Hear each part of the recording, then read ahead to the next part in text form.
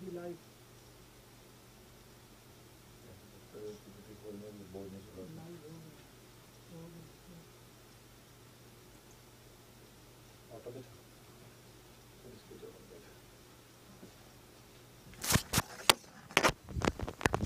Hello ਆਦਾਬ ਨਮਸਕਾਰ ਸਤਿ ਸ਼੍ਰੀ ਅਕਾਲ ਗੁੱਡ ਈਵਨਿੰਗ ਜੀ ਸਵਾਗਤ ਹੈ ਤੁਹਾਡਾ ਸਾਰਿਆਂ ਦਾ ਪੰਜਾਬ ਅੱਡਾ 24/7 ਦੇ YouTube ਪਲੇਟਫਾਰਮ ਤੇ ਉਮੀਦ ਕਰਦਾ ਆਸ਼ਾ ਕਰਦਾ ਸਾਰੇ ਠੀਕ ਠਾਕ ਹੋਵੋਗੇ ਵਧੀਆ ਹੋਵੋਗੇ ਕੈਂਟ ਹੋਵੋਗੇ ਮਸਤ ਹੋਵੋਗੇ ਇਹ ਕਲਾਸ ਹਲੇ ਥੋੜੀ 2 ਮਿੰਟ ਰੁੱਕ ਕੇ ਚਲਾਉਣੀ ਸੀ। ਪਹਿਲਾਂ ਹੀ ਚੱਲ ਪਈ ਮੁੰਡੇ ਤੋਂ, ਮੈਂ ਚੱਲ ਪਈ, ਹੁਣ ਬੰਦ ਤਾਂ ਕਾਹਨੂੰ ਕਰਨੀ, ਇਹਨੂੰ ਬੋਰਡ ਨੂੰ ਚੱਲ ਪੈਂਦੇ, ਫਿਰ ਪੀਪੀਟੀ ਵਗੈਰਾ ਆਪਾਂ ਖੋਲਦੇ ਹਾਂ। ਸਾਰੇ ਠੀਕ ਠਾਕ ਹੋ ਜੀ? ਵਧੀਆ ਹੋ ਕੈਂਟ ਹੋ ਪਹਿਲਾਂ ਤਾਂ ਭਾਈ ਅੱਜ ਹੋਲੀ ਦਾ ਤਿਉਹਾਰ ਆ। ਰੁਕ ਜਾ ਸ਼ਾਦਨ ਆ, ਪਹਿਲਾਂ ਤਾਂ ਅੱਜ ਹੋਲੀ ਦਾ ਤਿਉਹਾਰ ਆ, ਪਿਆਰੇ ਦੋਸਤੋ। ਸੋ, ਜਿਨ੍ਹਾਂ ਨੇ ਹੋਲੀ ਮਨਾ ਲਈ ਆ, ਭਾਈ ਨਹਾ ਨੂੰ ਲਓ। ਬੜਾ ਲੰਬਾ ਟਾਈਮ ਰੰਗ ਜਿਹਾ ਲਾ ਕੇ ਨਾ ਰੱਖਿਓ, ਕਹਿੰਦੇ ਸਕਿਨ ਸਕੂਨ ਨੂੰ ਖਰਾਬ ਕਰ ਦਿੰਦਾ ਹੁੰਦਾ ਨਾ ਸੋ, ਬਾਕੀ ਭਾਈ ਜਿਹੜੇ ਬੈਠੇ ਆ, ਆਪਦਾ ਪੜ੍ਹਾਈ ਕਰਦੇ ਰਹੋ ਆਰਾਮ ਦੇ ਨਾਲ। ਇੱਕ ਮਿੰਟ ਕਲਾਸ ਦਾ ਲਿੰਕ ਸ਼ੇਅਰ ਕਰ ਦਿਓ।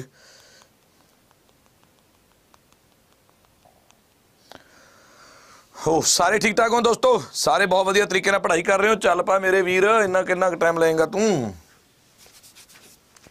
ਯਾਰ 2 ਮਿੰਟ ਰੁਕ ਕੇ ਚਲਾਉਣੀ ਸੀ ਮੈਂ ਕਲਾਸ ਪਰ ਇਹ ਨਹੀਂ ਪਤਾ ਵੀ ਆਹ ਕਾਂਡ ਵੀ ਹੋ ਜਾਊਗਾ। Hello sir ji happy Holi sir ji happy Diwali sir ji. ਹਾਂ ਹੈਪੀ ਦੀਵਾਲੀ ਹੈਪੀ ਹੋਲੀ, ਜੋ ਮਰਜ਼ੀ ਕਹਿ ਲਓ, ਪਰ ਮਤਲਬ ਘੱਟੋ ਘੱਟ ਮੈਸੇਜ ਕਰਕੇ ਆਪਦੀ ਹਾਜ਼ਰੀ ਤਾਂ ਲਵਾ ਲਈ। ਹਾਜ਼ਰੀ ਲਵਾਉਣ ਤੋਂ ਆਲੇ ਹੋ ਗਏ ਭਾਈ, ਹੈ?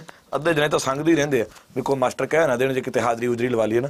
ਚਲੋ ਭਾਈ, ਸਾਰਿਆਂ ਨੂੰ ਸ- ਸਾਰਿਆਂ ਦਾ ਸਵਾਗਤ ਹੈ ਜੀ, ਸਭ ਨੂੰ ਗੁੱਡ ਈਵਨਿੰਗ ਦੋਸਤੋ। ਤਿਆਰੀ ਬਹੁਤ ਵਧੀਆ ਚੱਲ ਰਹੀ ਹੋਗੀ ਪੰਜਾਬ ਪੁਲਿਸ ਕਾਂਸਟੇਬਲ ਦੀ ਤਿਆਰੀ ਕਰ ਰਹੇ ਹੋ, ਜਾਂ ਸਬ ਇੰਸਪੈਕਟਰ ਦੀ ਤਿਆਰੀ ਕਰ ਰਹੇ ਹੋ, ਪੰਜਾਬ ਦੀ ਕਿਸੇ ਵੀ ਪੇਪਰ ਦੀ ਤਿਆਰੀ ਕਰ ਰਹੇ ਹੋ। ਤਾਂ ਕਲਾਸ ਤੁਹਾਡੇ ਸਾਰਿਆਂ ਦੇ ਵਾਸਤੇ ਬਹੁਤ ਜ਼ਿਆਦਾ ਲਾਜ਼ਮੀ ਰਹਿਣ ਵਾਲੀ ਹੈ, ਪਿਆਰੇ ਦੋਸਤੋ। ਬਸ ਸ਼ੁਰੂਆਤ ਕਰਨ ਲੱਗੇ ਤੁਹਾਨੂੰ ਮੈਂ ਦੱਸਿਆ ਸੀ ਕਲਾਸ 2 ਮਿੰਟ ਆਪਣੀ ਦੇਰੀ ਨਾਲ ਸ਼ੁਰੂ ਹੋਣੀ ਸੀ, ਪਰ ਮੁੰਡੇ ਨੇ ਭਾਈ ਆਪ ਹੀ ਨਾ ਪਤਾ ਬਟਨ ਜਾਂ ਕਹਿੰਦਾ ਸਰ, ਹੋ ਗਈ ਸ਼ੁਰੂ।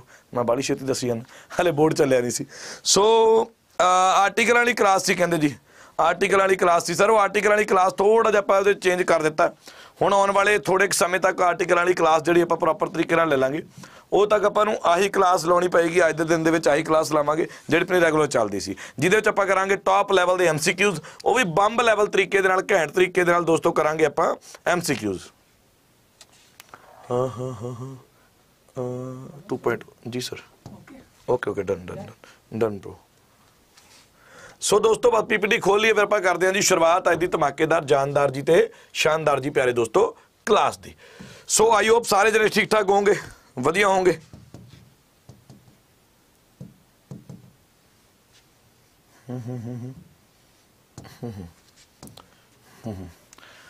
ਲੋ ਜੀ, ਕਲਾਸ ਦੀ ਕਰਦੇ ਹਾਂ ਸ਼ੁਰੂਆਤ। ਹੈਪੀ ਹੋਲੀ ਜੀ ਸਾਰਿਆਂ ਨੂੰ ਮੇਰੇ ਵੱਲੋਂ। ਹੈਪੀ ਹੋਲੀ ਪਰਮਾਤਮਾ ਤੁਹਾਨੂੰ ਤਰੱਕੀਆਂ ਦੇਵੇ, ਵਧੀਆ ਤਰੀਕੇ ਨਾਲ ਜ਼ਿੰਦਗੀ ਹੱਸ ਖੇਡ ਕੇ ਬਤੀਤ ਕਰੋ ਤੇ ਤਿਉਹਾਰ ਇਸੇ ਤਰੀਕੇ ਨਾਲ ਤੁਹਾਡੀ ਜ਼ਿੰਦਗੀ ਦੇ ਵਿੱਚ ਖੁਸ਼ੀਆਂ ਲੈਂਦੇ ਹੋਣ। ਤੇ ਜੇ ਮੇਰੇ ਨਾਲ ਕੋਈ ਪਹਿਲੀ ਵਾਰ ਜੁੜ ਰਿਹਾ, ਪੰਜਾਬ ਅੱਡਾ 24/7 ਦੇ ਚੈਨਲ ਨੂੰ ਇੱਕ ਵਾਰੀ ਸਬਸਕ੍ਰਾਈਬ ਕਰ ਦਿਓ, ਨਾਲ ਦਬ ਦਿਓ ਜੀ ਬੈਲ ਆਈਕਨ ਤਾਂ ਕਿ ਹਰੇਕ ਕਲਾਸ ਦੀ ਜਾਣਕਾਰੀ ਸਮੇਂ ਸਿਰ ਤੁਹਾਡੇ ਕੋਲ ਆਉਂਦੀ ਰਹੇ। ਤੇ ਨਾਲ ਹੀ ਨਾਲ, ਤੇ ਨਾਲ ਹੀ ਨਾਲ ਪਿਆਰੇ ਦੋਸਤੋ, ਜਿਹੜੇ ਬੱਚੇ ਤਿਆਰੀ ਕਰ ਰਹੇ ਆ ਪੰਜਾਬ ਦੇ ਪੇਪਰਾਂ ਦੀ, ਭਾਵੇਂ ਉਹ ਪੰਜਾਬ ਦੇ ਪੁਲਿਸ ਦੇ ਪੇਪਰ ਹੋਣ, ਭਾਵੇਂ ਉਹ ਪੀ ਟ੍ਰਿਪਲ ਐਸ ਬੀ ਦੇ ਪੇਪਰ ਹੋਣ, ਕਿਸੇ ਵੀ ਪੇਪਰ ਦੀ ਤੁਸੀਂ ਤਿਆਰੀ ਕਰ ਰਹੇ ਹੋ ਤੇ ਤੁਸੀਂ ਤਿਆਰੀ ਸਾਡੇ ਨਾਲ ਜੁੜ ਕੇ ਕਰਨਾ ਚਾਹੁੰਦੇ ਹੋ ਪਿਆਰੇ ਦੋਸਤੋ, ਤਾਂ ਬੱਚਾ ਜੀ ਤੁਹਾਡੇ ਵਾਸਤੇ ਪੰਜਾਬ ਮਹਾਪੈਕ ਦੇ ਉੱਤੇ ਹੋਲੀ ਦਾ ਬੰਪਰ ਡਿਸਕਾਊਂਟ ਚੱਲ ਰਿਹਾ, ਜਿਹੜਾ ਪੰਜਾਬ ਮਹਾਪੈਕ ਆਮ ਦਿਨਾਂ ਦੇ ਵਿੱਚ 3219 ਰੁਪਏ ਦਾ ਹੁੰਦਾ ਜੀ ਇੱਕ ਸਾਲ ਦੇ ਵਾਸਤੇ। ਜੇ ਅੱਜ ਤੁਸੀਂ ਉਹਨੂੰ ਵਾਈ 679 ਆ ਕੂਪਨ ਕੋਡ ਲਾ ਕੇ ਪੰਜਾਬ ਦੇ ਮਹਾਪੈਕ ਨੂੰ ਲੈਣੇ ਹੋ 1912 ਰੁਪਏ ਦਾ ਮਿਲ ਰਿਹਾ ਇੱਕ ਸਾਲ ਦੀ ਥਾਂ ਤੇ 2 ਸਾਲਾਂ ਦੇ ਵਾਸਤੇ। ਨਾਲ ਮੇਰੀ ਪਰਸਨਲ ਗਾਈਡੈਂਸ ਮੇਰੀ ਮੈਂਟੋਰਸ਼ਿਪ ਪੂਰੀ ਪੰਜਾਬ ਅੱਡਾ 24/7 ਦੀ ਟੀਮ ਦੀ ਗਾਈਡੈਂਸ ਸਭ ਕੁਝ ਮਿਲ ਰਿਹਾ ਦੇ ਡਿਸਕਾਊਂਟ ਕੋਡ ਵਾਈ 679 ਲਾ ਕੇ ਪੰਜਾਬ ਦੇ ਮਹਾਪੈਕ ਨੂੰ ਲੈਣੇ ਹੋ। ਤੇ ਨਾਲ ਨਾਲ ਗਾਈਡੈਂਸ ਦੀਆਂ ਕਲਾਸਾਂ ਡਾਊਟ ਸੈਸ਼ਨ ਸਭ ਕੁਝ ਮਿਲੇਗਾ ਪਿਆਰੇ ਬੱਚੋ 2 ਸਾਲਾਂ ਦੇ ਵਾਸਤੇ 3219 ਰੁਪਏ ਚ। ਹੋਲੀ ਦਾ ਆਫਰ ਕੋਡ ਕੀ ਆ? ਵਾਈ 679 ਤੇ ਹੋਲੀ ਦਾ ਸਪੈਸ਼ਲ ਆਫਰ ਹੈ ਇਹਦਾ ਫਾਇਦਾ ਚੱਕ ਲੈਣਾ। ਤੇ ਜਿਨ੍ਹਾਂ ਬੱਚਿਆਂ ਨੇ, ਤੇ ਜਿਨ੍ਹਾਂ ਬੱਚਿਆਂ ਨੇ ਜੀਕੇ ਜੀ ਦੀ ਸੌਗਾਤ ਕਿਤਾਬ ਜਿਹੜੀ ਇਹ ਨਹੀਂ ਮੰਗਵਾਈ, ਉਹ ਵੀ ਜੀਕੇ ਜੀ ਦੀ ਸੌਗਾਤ ਕਿਤਾਬ ਮੰਗਵਾ ਸਕਦੇ ਆ। ਪ੍ਰੋਪਰ ਜੀਕੇਜੀਐਸ ਦੀ ਕਿਤਾਬ ਆ ਥਿਊਰੀ ਇਹਦੇ ਵਿੱਚ ਲਿਖੀ ਹੋਈ ਹੈ ਜੀ 22 ਮਾਰਚ ਨੂੰ ਲਾਂਚ ਹੋਈ ਸੀ, ਪੰਜਾਬ ਵੱਲੋਂ ਭਰਮਾ ਹੰਗਾਰਾ ਜਿਹੜਾ, ਇਹਦੇ ਵਿੱਚ ਮਿਲ ਰਿਹਾ ਬੱਚੋ। ਭਰਮਾ ਹੰਗਾਰਾ ਪੰਜਾਬ ਵੱਲੋਂ ਕਹਿੰਦੇ ਇਸ ਕਿਤਾਬ ਨੂੰ ਮਿਲ ਰਿਹਾ। ਸੋ ਜਿਨ੍ਹਾਂ ਨੇ ਨਹੀਂ ਮੰਗਾਈ ਕਿਤਾਬ ਆਈ 679S ਇਹ ਕਿਤਾਬ ਦਾ ਕੂਪਨ ਕੋਡ ਲਾ ਕੇ 295 ਰੁਪਏ ਦੇ ਵਿੱਚ ਕਿਤਾਬ ਤੁਹਾਡੇ ਘਰੇ ਆਊਗੀ। ਨਾਲ ਇਹਦੀ ਈ-ਬੁੱਕ ਮਿਲ ਜੂਗੀ ਤੇ ਨਾਲ ਪਿਆਰੇ ਬੱਚੋ, ਇੱਕ ਰਿਵੀਜ਼ਨ ਬੈਚ ਜਿਹੜਾ ਜੀਕੇਜੀਐਸ ਦਾ, ਉਹ ਵੀ ਇਹਦੇ ਵਿੱਚ ਮਿਲ ਜੂਗਾ। ਕਿਤਾਬ ਆਰਡਰ ਕਿੱਦਾਂ ਕਰਨੀ ਹੈ ਲਾਸਟ ਦੇ ਵਿੱਚ ਦੱਸ ਦੂੰਗਾ। ਕਲਾਸ ਦੀ ਸ਼ੁਰੂਆਤ ਕਰਦੇ ਹਾਂ ਪਹਿਲੇ ਕੁਐਸਚਨ ਦੇ ਨਾਲ। ਹੈਪੀ ਹੋਲੀ ਸਾਰਿਆਂ ਨੂੰ ਤੇ ਪਹਿਲਾ ਸਵਾਲ, ਵਿਨੇ ਪੱਤਰਿਕਾ ਦੇ ਨਿਰਮਾਤਾ ਦਾ ਨਾਮ ਕੀ ਹੈ ਜੀ? ਵਿਨੇ ਪੱਤਰਿਕਾ ਦੇ ਨਿਰਮਾਤਾ ਦਾ ਨਾਮ ਕੀ ਹੈ ਪਿਆਰੇ ਦੋਸਤੋ? ਪਹਿਲਾ ਸਵਾਲ ਤੁਹਾਡੇ ਸਾਰਿਆਂ ਦੇ ਸਾਹਮਣੇ ਆ ਚੁੱਕਿਆ ਜੀ। ਪਹਿਲਾ ਸਵਾਲ ਤੁਹਾਡੇ ਸਾਰਿਆਂ ਦੇ ਸਾਹਮਣੇ ਆ ਚੁੱਕਿਆ ਹੈ ਪਿਆਰੇ ਦੋਸਤੋ, ਪਹਿਲਾ ਸਵਾਲ। ਸਾਡੀ ਕਲਾਸ ਦਾ ਪਹਿਲਾ ਸਵਾਲ ਜਿਹੜਾ ਹੁੰਦਾ, ਸਰ, ਅਸੀਂ ਉਹਨੂੰ ਕਹਿੰਦੇ ਹੁੰਦੇ ਆ ਦਿਸ ਇਜ਼ ਦਾ BCS ਸਵਾਲ ਫॉर ਮੀ BCS ਦਾ ਮਤਲਬ ਹੁੰਦਾ ਜੀ ਬਿਲਕੁਲ ਚੂਰਨ ਸਵਾਲ। BCS ਦਾ ਮਤਲਬ ਪਿਆਰੇ ਬੱਚੋ ਕੀ ਹੁੰਦਾ ਜੀ? ਬਿਲਕੁਲ ਚੂਰਨ ਸਵਾਲ ਪਿਆਰੇ ਬੱਚੋ, ਬਿਲਕੁਲ ਚੂਰਨ ਸਵਾਲ ਆ ਜੀ। ਪਹਿਲਾ ਸਵਾਲ, ਵਿਨੇ ਪੱਤਰਿਕਾ ਦਾ ਲੇਖਕ ਪਿਆਰੇ ਬੱਚੋ ਕੌਣ ਆ ਜੀ? ਵਿਨੇ ਪੱਤਰਿਕਾ ਦਾ ਲੇਖਕ ਜਿਹੜਾ ਬੱਚੋ ਸਾਡੇ ਕੋਲ ਕੌਣ ਆਏਗਾ ਜੀ? ਇਹਦਾ ਉੱਤਰ ਆਏਗਾ ਪਿਆਰੇ ਬੱਚੋ, ਕਬੀਰ ਜੀ, ਗਲਤ ਆ ਗਿਆ ਯਾਰ। ਤੁਲਸੀਦਾਸ ਜੀ ਆਏਗਾ ਇਹਦਾ ਉੱਤਰ ਇਹਦਾ ਉੱਤਰ ਬੱਚੋ ਕੀ ਆਏਗਾ ਇਸ ਸਵਾਲ ਦਾ ਜਵਾਬ ਸਾਡੇ ਕੋਲ ਆਏਗਾ ਜੀ ਤੁਲਸੀਦਾਸ ਜੀ ਵਿਨੇ ਪੱਤਰਿਕਾ ਦੇ ਲੇਖਕ ਸਨ ਤੁਲਸੀਦਾਸ ਜੀ ਕਿਹਦੇ ਸਾਮੀ ਸਮਕਾਲੀਨ ਸਨ ਅਕਬਰ ਦੇ ਸਮਕਾਲੀਨ ਸਨ ਤੇ ਅਕਬਰ ਨੇ ਤੁਲਸੀਦਾਸ ਜੀ ਨੂੰ ਕਹਿੰਦੇ ਨੌ ਰਤਨਾਂ ਦੇ ਵਿੱਚ ਐਡ ਹੋਣ ਦਾ ਆਫਰ ਵੀ ਦਿੱਤਾ ਸੀ ਵੀ ਆਓ ਸਾਡੇ ਨੌ ਰਤਨਾਂ ਦੇ ਵਿੱਚ ਐਡ ਹੋ ਜਾਓ ਤੁਲਸੀਦਾਸ ਜੀ ਕਹਿੰਦੇ ਨਹੀਂ ਮੈਨੂੰ ਲੋੜ ਨਹੀਂ ਹੈ ਤੁਹਾਡੇ ਨੌ ਰਤਨ ਆਪਦੇ ਕੋਲ ਰੱਖੋ ਤੁਲਸੀਦਾਸ ਜੀ ਨੇ ਨਕਾਰ ਦਿੱਤਾ ਸੀ ਪਿਆਰੇ ਬੱਚੋ ਅਗਲਾ ਕੁਐਸਚਨ ਦੇਖਦੇ ਸਰ ਤੁਸੀਂ ਵੀ ਭਰੋਗੇ ਜੀ ਫਾਰਮ ਕਾਂਸਟੇਬਲ ਦਾ ਯਾਰ ਮੈਂ ਕਾਂਸਟੇਬਲ ਦਾ ਫਾਰਮ ਨਹੀਂ, ਮੈਂ ਕਿਉਂ ਭਰਨਾ? ਹਾਂ, ਪਰ ਇੱਕ ਗੱਲ ਤਾਂ ਹੈ। ਸਾਰੀ ਟੀਮ ਜਿਹੜੀ ਆਪਣੀ ਹੈ ਨਾ ਇੱਕ ਸਾਡੀ ਰਣਨੀਤੀ ਹੁੰਦੀ ਹੈ, ਇੱਕ ਸਟ੍ਰੈਟਜੀ ਹੁੰਦੀ ਹੈ। ਜੋ ਕੋਈ ਪੇਪਰ ਆਉਂਦਾ ਨਹੀਂ ਜੋ ਕੋਈ ਫਾਰਮ ਨਿਕਲਦਾ, ਸਾਡੀ ਕੋਸ਼ਿਸ਼ ਹੁੰਦੀ ਹੈ ਵੀ ਇੱਕ ਜਣੇ ਦਾ ਫਾਰਮ ਭਰ ਕੇ ਰੱਖੀਏ ਅਸੀਂ। ਕੋਈ ਮੇਲ ਆਵੇ ਬੱਚਿਆਂ ਨੂੰ ਤਾਂ ਸਾਨੂੰ ਪਤਾ ਲੱਗ ਜਾਏ ਮੇਲਸ ਕੀ ਆ ਰਹੀਆਂ ਨੇ।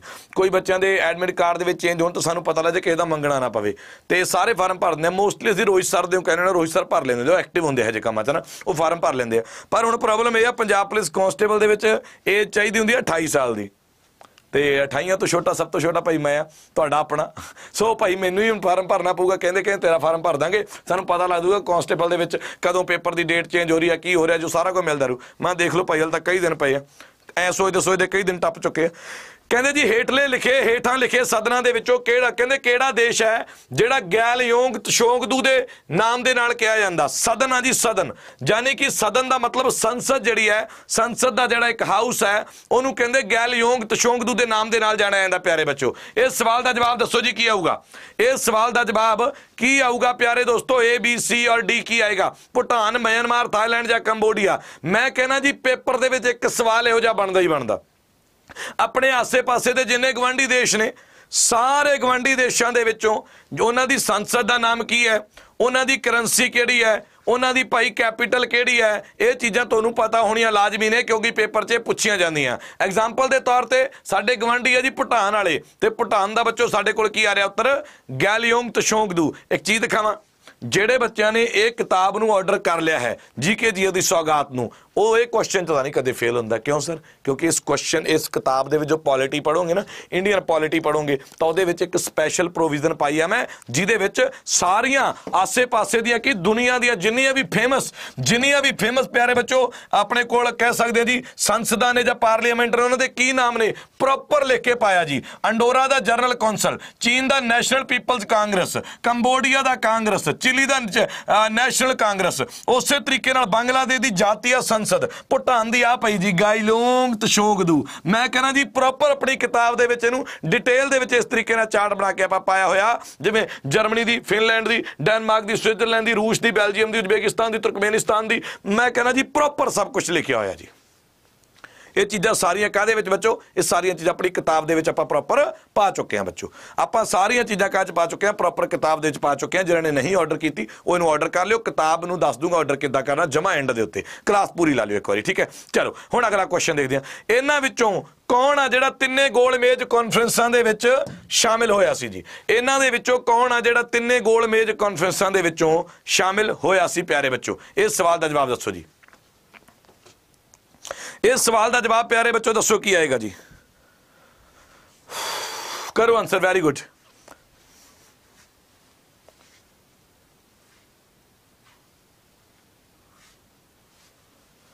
ਲਓ ਬੱਚੋ, ਇਸ ਸਵਾਲ ਦਾ ਜਵਾਬ ਕੀ ਆਊਗਾ ਜੀ?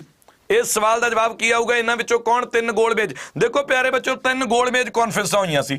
ਅੰਗਰੇਜ਼ਾਂ ਨੇ ਭਾਰਤ ਦੇ ਵੱਡੇ ਲੀਡਰਾਂ ਨੂੰ ਮਨਾਉਣ ਦੇ ਵਾਸਤੇ 1930 1931 ਤੇ 1932 ਆ ਤਿੰਨ ਸਾਲਾਂ ਦੇ ਵਿੱਚ ਲਗਾਤਾਰ ਤਿੰਨ ਗੋਲ ਮੇਜ਼ ਤਿੰਨ ਰਾਉਂਡ ਟੇਬਲ ਕਾਨਫਰੰਸਾਂ ਕੀਤੀਆਂ। ਪਹਿਲੀ, ਦੂਜੀ ਤੇ ਤੀਜੀ। ਆ ਤਿੰਨ ਰਾਉਂਡ ਟੇਬਲ ਕਾਨਫਰੰਸਾਂ ਹੋਈਆਂ ਪਿਆਰੇ ਬੱਚੋ।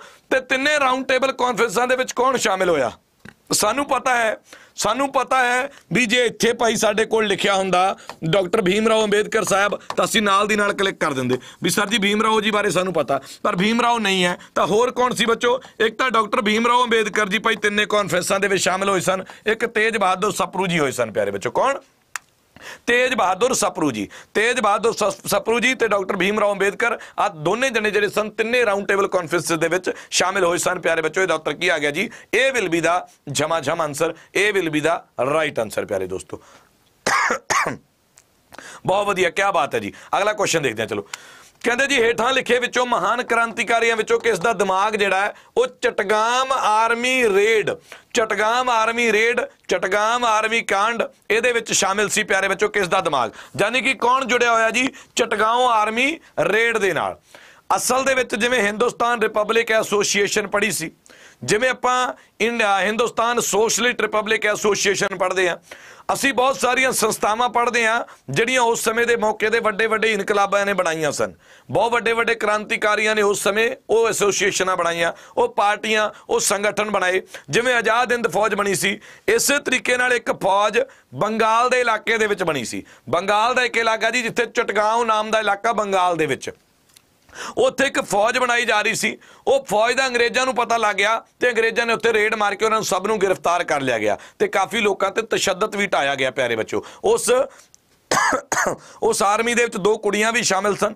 ਪਰ ਪਿਆਰੇ ਬੱਚੋ ਜਿਹੜੀ ਉਹ ਆਰਮੀ ਸੀ ਜੋ ਸਾਰਾ ਸੰਗਠਨ ਬਣਾਇਆ ਜਾ ਰਿਹਾ ਸੀ, ਉਹਦੇ ਮੋਢੀ ਸਨ ਜਨਾਬ ਸੂਰਿਆ ਸੇਨ ਜੀ। ਕੌਣ ਬੱਚੋ ਸੂਰਿਆ ਸੇਨ ਜੀ ਉਹਦੇ ਮੋਢੀ ਸਨ ਪਿਆਰੇ ਬੱਚੋ ਸੂਰਿਆ ਸੇਨ ਨੂੰ ਵੀ ਗ੍ਰਿਫਤਾਰ ਕਰ ਲਿਆ ਗਿਆ ਸੀ। ਚਟਗਾਂਵ ਆਰਮੀ ਰੇਡ ਦੇ ਵਿੱਚ। ਪੇਪਰ 'ਚ ਸਵਾਲ ਆਇਆ ਹੋਇਆ ਇੱਕ ਵਾਰ। ਬਾਈ ਐਸਐਸਸੀ ਨੇ ਕੁਐਸਚਨ ਪੁੱਛਿਆ ਆ ਕਿ ਚਟਗਾਉਂ ਪੈਂਦਾ ਕਿੱਥੇ ਆ? ਸੀਜੀਐਲ ਦੇ ਵਿੱਚ ਸਵਾਲ ਆਇਆ ਸੀ ਵੀ ਭਾਈ, ਚਟਗਾਉਂ ਆਰਮੀ ਰੇਡ ਜਿੱਥੇ ਪਈ ਸੀ ਨਾ, ਉਹ ਤਾਂ ਠੀਕ ਆ ਜੀ, ਕਹਿੰਦੇ ਓਕੇ ਸੂਰਜ ਸੇਨ ਨੂੰ ਗ੍ਰਿਫਤਾਰ ਕੀਤਾ ਗਿਆ, ਪਰ ਚਟਗਾਉਂ ਪੈਂਦਾ ਕਿੱਥੇ ਆ? ਤਾਂ ਉੱਤਰ ਆਊਗਾ ਜੀ ਬੰਗਾਲ ਦੇ ਵਿੱਚ। ਬਹੁਤ ਅੱਛੇ ਜੀ। ਅਗਲੇ ਕੁਐਸਚਨ ਦੇ ਵੱਲ ਚੱਲਦੇ ਆ ਮੇਰੇ ਵੀਰ, ਮੇਰੀ ਭੈਣ, ਮੇਰੇ ਭਰਾ, ਬਿਟਮੋਜੀ ਵਲੌਗਸ ਜੀ, ਬਸ, ਮੈਂ ਕਾਂਸਟੇਬਲ ਕੀ, ਮੈਂ ਸਬ ਇੰਸਪੈਕਟਰ ਮੈਂ ਡੀਐਸਪੀ ਲੱਗ ਚੁੱਕਿਆ। ਬਸ ਕਰੋ ਹੁਣ ਮੇਰੇ ਵੀਰ, ਬਸ ਕਰੋ, ਠੀਕ ਹੈ? ਹੁਣ ਬਾਰ-ਬਾਰ ਕਮੈਂਟ ਨਾ ਕਰੋ। ਇੱਥੇ 12 13 ਜਣਿਆਂ ਦੀ ਟੀਮ ਬਾਹਰ ਇਹੀ ਚੀਜ਼ ਦੇਖੀ ਜਾਂਦੀ ਹੈ ਵੀ ਕਿਹੜਾ ਕਿਹੜਾ ਕਮੈਂਟ ਕਰ ਰਿਹਾ। ਉਹਨਾਂ ਨੇ ਮਿੰਟ ਮਾਰਨਾ ਭਾਈ ਭੜਕਾ ਕੇ ਸਾਈਡ ਤੇ ਸਿੱਟ ਦੇਣਾ। ਫਿਰ ਤੁਸੀਂ ਕਹੋਗੇ, ਸਰ ਜੀ, ਜਿਵੇਂ ਇੱਕ ਮੁੰਡਾ ਦੇਖੋ, ਮਨਜੀਤ ਸਾਹਿਬ ਨਾਲ ਕਹਿ ਰਿਹਾ, ਸਰ, ਸਤਿ ਸ਼੍ਰੀ ਅਕਾਲ ਜੀ, ਮੇਰੀ ਬੇ- ਮੇਰੀ ਬੇਨਤੀ ਹੈ, ਤੋਂ ਮੇਰੇ ਇੱਕ ਦੋਸਤ ਦੀ ਆਈਡੀ ਬਲੌਕ ਕਰ ਦਿੱਤੀ ਹੈ ਜੀ, ਸੌਰਵ ਕੁਮਾਰ ਨੂੰ ਪਲੀਜ਼ ਅਨਬਲੌਕ ਕਰ ਦਿਓ। ਫਿਰ ਆਹ ਕੰਮ ਹੋ ਜਾਊਗਾ ਜੀ। ਬਾਰ-ਬਾਰ ਕਮੈਂਟ ਨਾ ਕਰਿਆ ਕਰੋ ਭਾਈ, ਇਹ ਟੀਮ ਸਪੈਸ਼ਲ ਇਸੇ ਗੱਲ ਕਰਕੇ ਬੈਠੀ ਹੈ। ਇਹਨੂੰ ਪੰਜਾਬੀ ਪੰਜੂਬੀ ਘੱਟ ਹੀ ਆਉਂਦੀ ਹੈ, ਤੁਸੀਂ ਜੋ ਲਿਖਦੇ ਹੋ। ਇਹਨਾਂ ਨੂੰ ਇਹ ਲੱਗਦਾ ਵੀ ਜਿਹੜਾ ਬੰਦਾ ਸਪੈਮ ਕਰੀ ਜਾਂਦਾ ਨਾ, ਮਿੰਟ ਮਾਰ ਜਾਣ ਰਗੜ ਦਿੰਦੇ ਆ। ਸੋ ਭਾਈ ਹੁਣ ਚੁੱਪ ਕਰ ਜਾਓ ਬਾਰ-ਬਾਰ ਨਾ ਕਰੋ ਹਨਾ? ਕਹਿੰਦੇ ਜੀ ਕ੍ਰਾਂਤੀਕਾਰੀ ਸੰਗਠਨ ਕ੍ਰਾਂਤੀਕਾਰੀ ਸੰਗਠਨ ਅਭਿਨਵ ਭਾਰਤ ਸੁਸਾਇਟੀ ਦੀ ਸਥਾਪਨਾ 1904 ਦੇ ਵਿੱਚ ਕਿਹਦੇ ਦੁਆਰਾ ਕੀਤੀ ਗਈ ਸੀ? 1904 ਦੇ ਵਿੱਚ ਅਭਿਨਵ ਭਾਰਤ ਦੀ ਸਥਾਪਨਾ ਪਿਆਰੇ ਬੱਚੋ ਕਿਹਦੇ ਦੁਆਰਾ ਕੀਤੀ ਗਈ ਸੀ? ਇਹ ਕੁਐਸਚਨ ਬਾਈ ਜੀ ਜਿਹੜਾ 28 ਤਰੀਕ ਨੂੰ ਪੇਪਰ ਹੋਇਆ ਸੀ ਜਿਹੜਾ 28 ਦਸੰਬਰ ਨੂੰ ਪੇਪਰ ਹੋਇਆ ਸੀ ਪਿਆਰੇ ਬੱਚੋ ਸਾਡੇ ਕੋਲ ਅਹ, 28 ਜਨਵਰੀ ਨੂੰ 28 ਜਨਵਰੀ ਨੂੰ ਪੇਪਰ ਹੋਇਆ ਸੀ ਸੀਨੀਅਰ ਅਸਿਸਟੈਂਟ ਕਮ ਇਨਸਪੈਕਟਰ ਦਾ ਜੀ। ਸੀਨੀਅਰ ਅਸਿਸਟੈਂਟ ਕਮ ਇਨਸਪੈਕਟਰ ਦਾ ਜਿਹੜਾ ਪੇਪਰ ਹੋਇਆ ਸੀ ਉਸ ਪੇਪਰ ਦੇ ਵਿੱਚ ਕੁਐਸਚਨ ਡਿਟੋ ਇਸੇ ਤਰੀਕੇ ਨਾਲ ਆਇਆ ਹੋਇਆ ਪਿਆਰੇ ਬੱਚੋ। ਇਹਦਾ ਉੱਤਰ ਕੀ ਆਊਗਾ ਜੀ? ਇਸ ਸਵਾਲ ਦਾ ਜਵਾਬ ਆਏਗਾ ਸਾਡੇ ਕੋਲ। ਵਿਨਾਇਕ ਦਾਮੋਦਰ ਸਾਵਰਕਰ ਵਿਨਾਇਕ ਦਾਮੋਦਰ ਸਾਵਰਕਰ ਜਾਨੀ ਕਿ ਬੱਚੋ ਵੀ ਡੀ ਸਾਵਰਕਰ ਇਹਨਾਂ ਦਾ ਜਵਾਬ ਆਏਗਾ ਜੀ ਵੀ ਡੀ ਸਾਵਰਕਰ ਜੀ ਨੇ ਅਭਿਨਵ ਭਾਰਤ ਦੀ ਸਥਾਪਨਾ ਬੱਚੋ ਕੀਤੀ ਸੀ ਵੈਲ ਡਨ ਜੀ ਵੈਲ ਡਨ ਜਿਹੜੇ ਬੱਚੇ ਕਲਾਸ 'ਚ ਆ ਗਏ ਕਲਾਸ ਨੂੰ ਵਧੀਆ ਮਨ ਲਾ ਕੇ ਪੜ੍ਹ ਰਹੇ ਇੰਜੋਏ ਕਰ ਰਹੇ ਆ ਤੇ ਇੱਕ ਵਾਰੀ ਲਾਈਕ ਵਾਲਾ ਬਟਨ ਦੱਬ ਦਿਓ ਇੱਕ ਵਾਰੀ ਲਾਈਕ ਵਾਲਾ ਬਟਨ ਦੱਬ ਦਿਓ 500 ਦੇ ਲਗਭਗ ਬੱਚੇ ਲਾਈਵ ਬੈਠੇ ਆ ਤੇ 250 ਕੁ ਜਣਿਆਂ ਨੇ ਹਾਲ ਤੱਕ ਲਾਈਕ ਕੀਤਾ ਯਾਰ it is not good for you my dear friends it is not good for you my dear friends ਜਿਨ੍ਹਾਂ ਨੇ ਲਾਈਕ ਵਾਲਾ ਬਟਨ ਹਾਲ ਤੱਕ ਨਹੀਂ ਦੱਬਿਆ ਜੀ, ਉਹ ਲਾਈਕ ਵਾਲਾ ਬਟਨ ਦੱਬ ਦਿਓ। ਹੇਠਾਂ ਦਿੱਤੇ ਦੇਸ਼ਾਂ ਵਿੱਚੋਂ ਕਿਹੜਾ ਦੇਸ਼ ਹੈ ਜਿਨੇ ਸਿੱਧੀ ਜਮਹੂਰੀਅਤ ਦੀ ਸ਼ੁਰੂਆਤ ਕੀਤੀ? ਡਾਇਰੈਕਟ ਡੈਮੋਕ੍ਰੇਸੀ ਪਿਆਰੇ ਬੱਚੋ। ਕੀ ਤੁਸੀਂ ਜਾਣਦੇ ਹੋ ਵੀ ਸਾਡੇ ਦੇਸ਼ ਦੇ ਵਿੱਚ ਡਾਇਰੈਕਟ ਡੈਮੋਕ੍ਰੇਸੀ ਹੈ ਜਾਂ ਭਾਈ ਇਨਡਾਇਰੈਕਟ ਡੈਮੋਕ੍ਰੇਸੀ ਹੈ? ਤਾਂ ਜਵਾਬ ਹੋਏਗਾ ਜੀ ਇਨਡਾਇਰੈਕਟ ਹੁਣ ਤੁਸੀਂ ਕਹੋਗੇ, ਸਰ ਅਸਤਾ ਸਰਕਾਰ ਆਪ ਚੁਣਦੇ ਆ ਡਾਇਰੈਕਟ ਹੋਣੀ ਚਾਹੀਦੀ ਡੈਮੋਕ੍ਰੇਸੀ ਨਹੀਂ। ਆਪਾਂ ਕੁਝ ਨੁਮਾਇੰਦਿਆਂ ਨੂੰ ਚੁਣਦੇ ਆ। ਆ 10 ਲੱਖ ਬੰਦਾ 10 ਲੱਖ ਬੰਦਾ ਇੱਕ ਐਮਪੀ ਨੂੰ ਚੁਣਦਾ। ਉਹ ਐਮਪੀ ਬੈਠ ਕੇ ਕਾਨੂੰਨ ਬਣਾਉਂਦੇ ਆ ਜੀ। ਉਹ ਐਮਪੀ ਕੀ ਕਰਦੇ ਆ ਜੀ? ਬੈਠ ਕੇ ਕਾਨੂੰਨ ਬਣਾਉਂਦੇ ਆ। ਇਹਨੂੰ ਬੋਲਦੇ ਆ ਜੀ ਇਨਡਾਇਰੈਕਟ ਡੈਮੋਕ੍ਰੇਸੀ ਇਹਨੂੰ ਕੀ ਬੋਲਦੇ ਆ ਬੱਚੋ? ਇਨਡਾਇਰੈਕਟ ਡੈਮੋਕ੍ਰੇਸੀ ਜੋ ਕਿ ਆਪਾਂ ਫੋਲੋ ਕਰ ਰਹੇ ਆ ਆਪਣਾ ਮੁਲਕ ਫੋਲੋ ਕਰ ਰਿਹਾ ਪਰ ਇਸ ਦੁਨੀਆ ਦੇ ਵਿੱਚ ਇੱਕ ਮੁਲਕ ਆ ਜੀ, ਜਿਹੜਾ ਸਵਿਟਜ਼ਰਲੈਂਡ ਆ ਪਿਆਰੇ ਬੱਚੋ। ਇੱਥੇ ਡਾਇਰੈਕਟ ਡੈਮੋਕ੍ਰੇਸੀ ਆ। ਤੁਸੀਂ ਕਹੋਗੇ ਸਰ ਡਾਇਰੈਕਟ ਡੈਮੋਕ੍ਰੇਸੀ ਦਾ ਮਤਲਬ ਕੀ ਹੁੰਦਾ? ਡਾਇਰੈਕਟ ਡੈਮੋਕ੍ਰੇਸੀ ਦਾ ਮਤਲਬ ਜਦੋਂ ਕੋਈ ਕਾਨੂੰਨ ਬਣਦਾ, ਜਦੋਂ ਕੋਈ ਬੱਚੋ ਕਾਨੂੰਨ ਬਣਦਾ, ਜਾਂ ਕੋਈ ਅਮੈਂਡਮੈਂਟ ਹੁੰਦੀ ਹੈ ਪਿਆਰੇ ਬੱਚੋ, ਤਾਂ ਉਹਦੇ ਵਿੱਚ ਐਮਪੀ ਤਾਂ ਭਾਗ ਲੈਂਦੇ ਹੀ ਲੈਂਦੇ ਆ ਨੋ ਡਾਊਟ ਪਰ ਉਹਦੇ ਵਿੱਚ ਪਬਲਿਕ ਭਾਗ ਲੈਂਦੀ ਹੈ ਪਿਆਰੇ ਬੱਚੋ। ਪਬਲਿਕ ਦੀ ਸਲਾਹ ਲਈ ਜਾਂਦੀ ਹੈ ਮੰਨ ਲਓ ਤੁਸੀਂ ਕਹੋਗੇ, ਸਰ, ਕਿਦਾਂ? ਇੱਕ ਆਨਲਾਈਨ ਪੋਰਟਲ ਓਪਨ ਕਰਤਾ ਜੀ, ਇੱਕ ਆਨਲਾਈਨ ਪੋਰਟਲ ਓਪਨ ਕਰਤਾ। ਉਹਦੇ ਵਿੱਚ ਸਾਰੀ ਮੰਨ ਲਓ ਕਿਸਾਨ ਬਿੱਲਾਂ ਦੀ ਸਾਰੀ ਜਾਣਕਾਰੀ ਪਈ ਹੈ ਵੀ ਭਾਈ ਪਬਲਿਕ ਵਾਸਤੇ ਓਪਨ ਆ ਜੀ। 1 ਅਪ੍ਰੈਲ ਤੋਂ ਲੈ ਕੇ 5 ਅਪ੍ਰੈਲ ਤੱਕ ਆ ਵਿੰਡੋ ਖੁੱਲੂਗੀ। ਇਸ ਵੈਬਸਾਈਟ ਦੇ ਉੱਤੇ ਜਾ ਕੇ ਕਾਨੂੰਨ ਰੀਡ ਕਰ ਲਿਓ। ਕਾਨੂੰਨ ਪੜ੍ਹ ਲਿਓ। ਇਹ ਸੰਸਦ ਦੁਆਰਾ ਪਾਸ ਕਰ ਦਿੱਤਾ ਗਿਆ। ਲੋਕਾਂ ਨੇ ਹੁਣ ਦੇ ਤੇ ਆਪਦੀ ਪ੍ਰਤੀਕਿਰਿਆ ਦੇਣੀ ਆ। ਵੋਟ ਪਾ ਦਿਓ ਯੈਸ ਜਾਂ ਨੋ ਦੇ ਵਿੱਚ। ਹੁਣ ਲੋਕ ਉਹ ਪੋਰਟਲ ਦੇ ਉੱਤੇ ਜਾਣਗੇ। ਲੋਕ ਕਾਨੂੰਨ ਨੂੰ ਪੜ੍ਹਨਗੇ। ਜੇ ਲੋਕਾਂ ਨੂੰ ਵਧੀਆ ਲੱਗਿਆ, ਵੀ ਪ- ਲੋਕਾਂ ਨੂੰ ਭਾਈ ਦਾ ਆਪਣੇ ਜਿਹੜੀ ਪ- ਭਾਰਤ ਦੀ ਜਨਸੰਖਿਆ, ਦੇਸ਼ ਦੀ ਜਨਸੰਖਿਆ, ਉਹਨੂੰ ਵਧੀਆ ਲੱਗਿਆ ਤਾਂ ਯੈਸ ਕਰ ਦੂਗੀ, ਨਹੀਂ ਉਹ ਨੋ ਕਰ ਦੂਗੀ। ਬਾਅਦ ਚ ਗਿਣ ਲਿਆ ਜਾਊਗਾ। 4 ਅਪ੍ਰੈਲ ਨੂੰ ਭਾਈ ਵਿੰਡੋ ਬੰਦ ਹੋਊਗੀ। 4 ਅਪ੍ਰੈਲ ਤੱਕ 100 ਵੋਟਾਂ ਪਈਆਂ 100 ਦੇ ਵਿੱਚੋਂ 51 ਜਣੇ ਕਹਿੰਦੇ, ਠੀਕ ਹੈ ਜੀ, ਕਾਨੂੰਨ ਵਧੀਆਗਾ ਪਾਸ ਕਰ ਦਿਓ। 49 ਜਣੇ ਕਹਿੰਦੇ, ਨਾ ਕਰਿਓ ਜੀ ਪਾਸ। ਤੇ ਕਾਨੂੰਨ ਕੀ ਹੋ ਜਾਊਗਾ ਬੱਚੋ? ਪਾਸ ਹੋ ਜਾਊਗਾ, ਇਹਨੂੰ ਡਾਇਰੈਕਟ ਡੈਮੋਕ੍ਰੇਸੀ ਕਹਿੰਦੇ ਆ, ਜੋ ਕਿ ਸਾਡੇ ਮੁਲਕ ਦੇ ਵਿੱਚ ਨਹੀਂ ਹੈ ਸਵਿਟਜ਼ਰਲੈਂਡ ਦੇ ਵਿੱਚ ਹੈ ਪਿਆਰੇ ਬੱਚੋ। ਗੱਲ ਨੂੰ ਸਮਝ ਰਹੇ ਹੋ? ਚਲੋ, ਅਗਲਾ ਕੁਐਸਚਨ ਦੇਖਦੇ ਹਾਂ।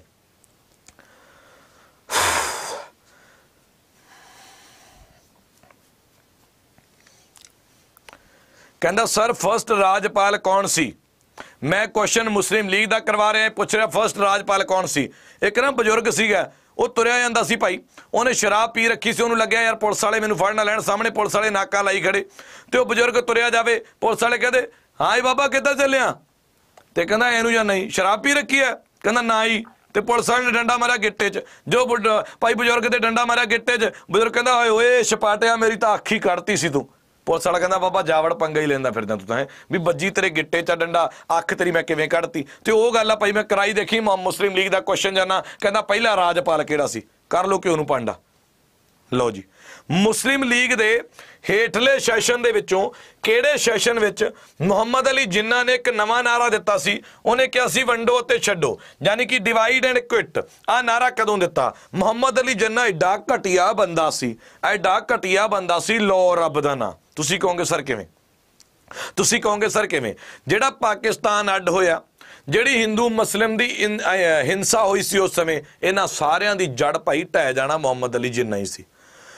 1942 ਦੇ ਵਿੱਚ 1942 ਦੇ ਵਿੱਚ ਜਦੋਂ ਮਹਾਤਮਾ ਗਾਂਧੀ ਜੀ ਨੇ ਕੁਇਟ ਇੰਡੀਆ ਮੂਵਮੈਂਟ ਭਾਰਤ ਛੱਡੋ ਅੰਦੋਲਨ ਚਲਾਇਆ ਕੁਇਟ ਇੰਡੀਆ ਮੂਵਮੈਂਟ ਚਲਾਈ ਤੇ ਇਹਨੂੰ ਲੱਗਿਆ ਵੀ ਹੁਣ ਸੰਗ ਮੰਨਣੀ ਚਾਹੀਦੀ, ਹੁਣ ਮੈਨੂੰ ਵੀ ਅੰਗਰੇਜ਼ਾਂ ਨੂੰ ਕਹਿਣਾ ਚਾਹੀਦਾ ਵੀ ਜਾ ਵੜੋ। ਅੰਗਰੇਜ਼ ਤਾਂ ਜਾਣਗੇ ਹੀ, ਹੁਣ ਮਾੜਾ ਜਿਹਾ ਮੇਰਾ ਵੀ ਨਾਂ ਹੋ ਜਾਊਗਾ। ਤੇ ਇਹਨੂੰ ਭਾਈ ਫਾਦਰ ਆਫ ਨੇਸ਼ਨ ਕਹਿੰਦੇ ਆ ਪਾਕਿਸਤਾਨ ਵਾਲੇ। ਇਹਨੇ ਕੀ ਕੀਤਾ ਮਾਂ ਦੇ ਪੁੱਤ ਨੇ? ਇਹਨੇ 1943 ਦੇ ਵਿੱਚ ਜਿਹੜਾ ਇਹਨਾਂ ਦਾ ਮੁਸਲਿਮ ਲੀਗ ਦਾ ਕਰਾਚੀ ਦਾ ਸੈਸ਼ਨ ਹੋਇਆ, ਉਹਦੇ ਚ ਇਹਨੇ ਨਾਰਾ ਦੇ ਦਿੱਤਾ, ਕਹਿੰਦਾ ਵੰਡੋ ਅਤੇ ਛੱਡੋ। ਕੀ ਕਹਿੰਦਾ ਜੀ? ਵੰਡੋ ਅਤੇ ਛੱਡੋ। ਕਹਿੰਦਾ, ਜੱਟ ਕੇ ਸਾਡੇ ਦੇਸ਼ ਨੂੰ ਚਲੇ ਜਾਓ ਤੇ ਪਰ ਭਾਈ ਵੰਡ ਕੇ ਵੀ ਜਾਓ ਜੀ। ਚਲੋ, ਬਹੁਤ ਅੱਛੇ ਜੀ। ਕੀ ਬਾਤ ਹੈ ਜੀ। ਅਗਲੇ ਕੁਐਸਚਨ ਦੇ ਵੱਲ ਚੱਲਦੇ ਹਾਂ ਦੋਸਤੋ। ਅਗਲੇ ਸਵਾਲ ਦੇ ਵੱਲ ਚੱਲਦੇ ਹਾਂ। ਇੱਕ ਵਾਰੀ ਲਾਈਕ ਵਾਲਾ ਬਟਨ ਦਬ ਦਿਓ। 500 ਪਲੱਸ ਜਣੇ ਲਾਈ ਬੈਠੇ ਹੋ ਤੇ ਜਿਨ੍ਹਾਂ ਨੇ ਹਾਲੇ ਤੱਕ ਲਾਈਕ ਵਾਲਾ ਬਟਨ ਨਹੀਂ ਦਬਿਆ, ਉਹ ਲਾਈਕ ਵਾਲਾ ਬਟਨ ਦਬ ਦਿਓ ਕਿਉਂਕਿ it is not good for you my dear friends like ਵਾਲਾ ਬਟਨ ਦਬ ਦਿਓ, ਪਿਆਰੇ ਦੋਸਤੋ।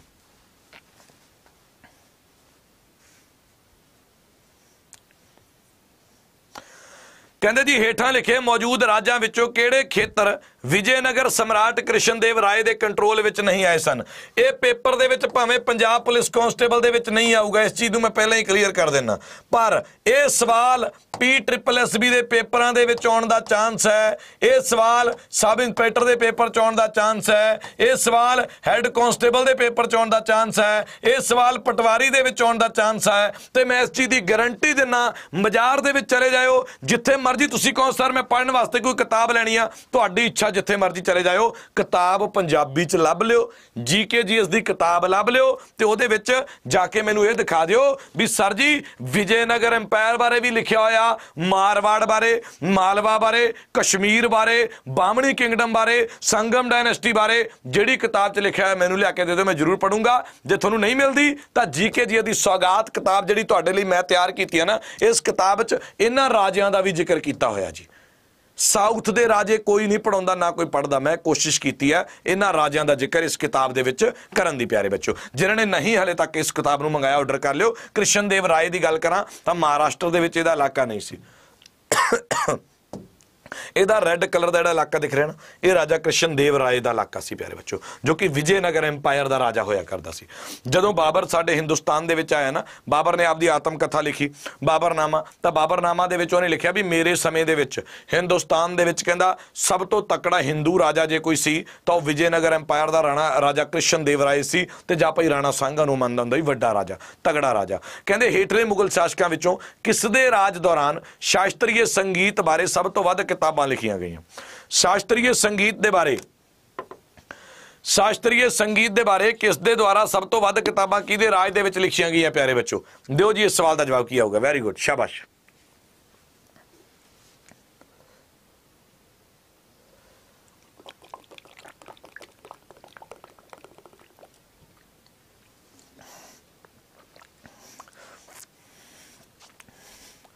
करो आंसर। वेरी गुड शाबाश। 550 ਦੇ ਕਰੀਬ ਬੱਚੇ ਲਾਈਵ ਆ ਚੁੱਕੇ ਆ ਜੀ। ਕਲਾਸ ਆਪਣੀ ਡੇਲੀ ਸ਼ਾਮ ਨੂੰ 5 ਵਜੇ ਹੁੰਦੀ ਹੈ। ਅੱਜ ਹੋਲੀ ਦਾ ਤਿਉਹਾਰ ਆ ਤੇ ਹੋਲੀ ਵਾਲੇ ਦਿਨ ਵੀ ਆਪਾਂ ਨਹੀਂ ਛੁੱਟੀ ਕੀਤੀ। ਵੀ ਆਪਾਂ ਤਾਂ ਭਾਈ ਪੜਾਂਗੇ। ਆਪਾਂ ਪੜਾਂਗੇ ਜੀ ਕਿਉਂਕਿ ਭਾਈ ਐਗਜ਼ਾਮੀਨਰ ਨੇ ਨਹੀਂ ਦੇਖਣਾ ਵੀ ਕਿਹੜਾ ਹੋਲੀ ਮਨਾ ਕੇ ਆਇਆ, ਉਹਨੂੰ ਦੋ ਨੰਬਰ ਘੱਟ ਵਾਲੇ ਨੂੰ ਵੀ ਰੱਖ ਲਈਏ। ਉਹਨੇ ਨਹੀਂ ਵੇਖਣਾ ਬਾਈ ਜੀ। ਉਹਨੇ ਤਾਂ ਮੈਂ ਕਹਿੰਦਾ ਜੀ, ਮੋਟੀ ਝਾਰ ਨਾਲ ਲਾਉਣਾ, ਮੋਟਾ ਮਤਲਬ ਪੂਰਾ ਟੌਪ ਦਾ ਬਰੀਕ ਝਾਰ ਨਾਲ ਲਾਉਣਾ। ਬਾਕੀ ਸਾਰੇ ਸਾਈਡ ਤੇ ਮਾਰਨੇ ਜਿਹੜੇ ਘੱਟ ਪੜਦੇ ਆ। ਵਧੀਆ ਪੜਨ ਵਾਲਿਆਂ ਦੀ ਸਿਲੈਕਸ਼ਨ ਹੋਣੀ ਹੈ ਗੱਲ ਕਲੀਅਰ ਆ ਜੀ। ਹੇਠਲੇ ਮੁਗਲ ਸ਼ਾਸਕਾਂ ਚੋਂ ਕਿਹੜਾ ਦੇਖੋ ਜੀ, ਇਹਦਾ ਉੱਤਰ ਆਊਗਾ ਬੱਚੋ ਔਰੰਗਜ਼ੇਬ। ਇਹਦਾ ਸਵਾਲ ਦਾ ਜਵਾਬ ਕੀ ਆਊਗਾ ਜੀ? ਇਹਦਾ ਸਵਾਲ ਦਾ ਜਵਾਬ ਆਊਗਾ ਬੱਚੋ ਔਰੰਗਜ਼ੇਬ। ਹੁਣ ਕੁਝ ਕੁ ਪੁਆਇੰਟ ਨੇ ਜਿਹੜੇ ਬੜੇ ਇੰਪੋਰਟੈਂਟ ਨੇ, ਇੱਧਰ ਆਜੋ ਦੱਸਦਾ। ਉਰੇ ਆਜੋ ਸਾਰੇ ਨੇ, ਇੱਧਰ ਆਜੋ।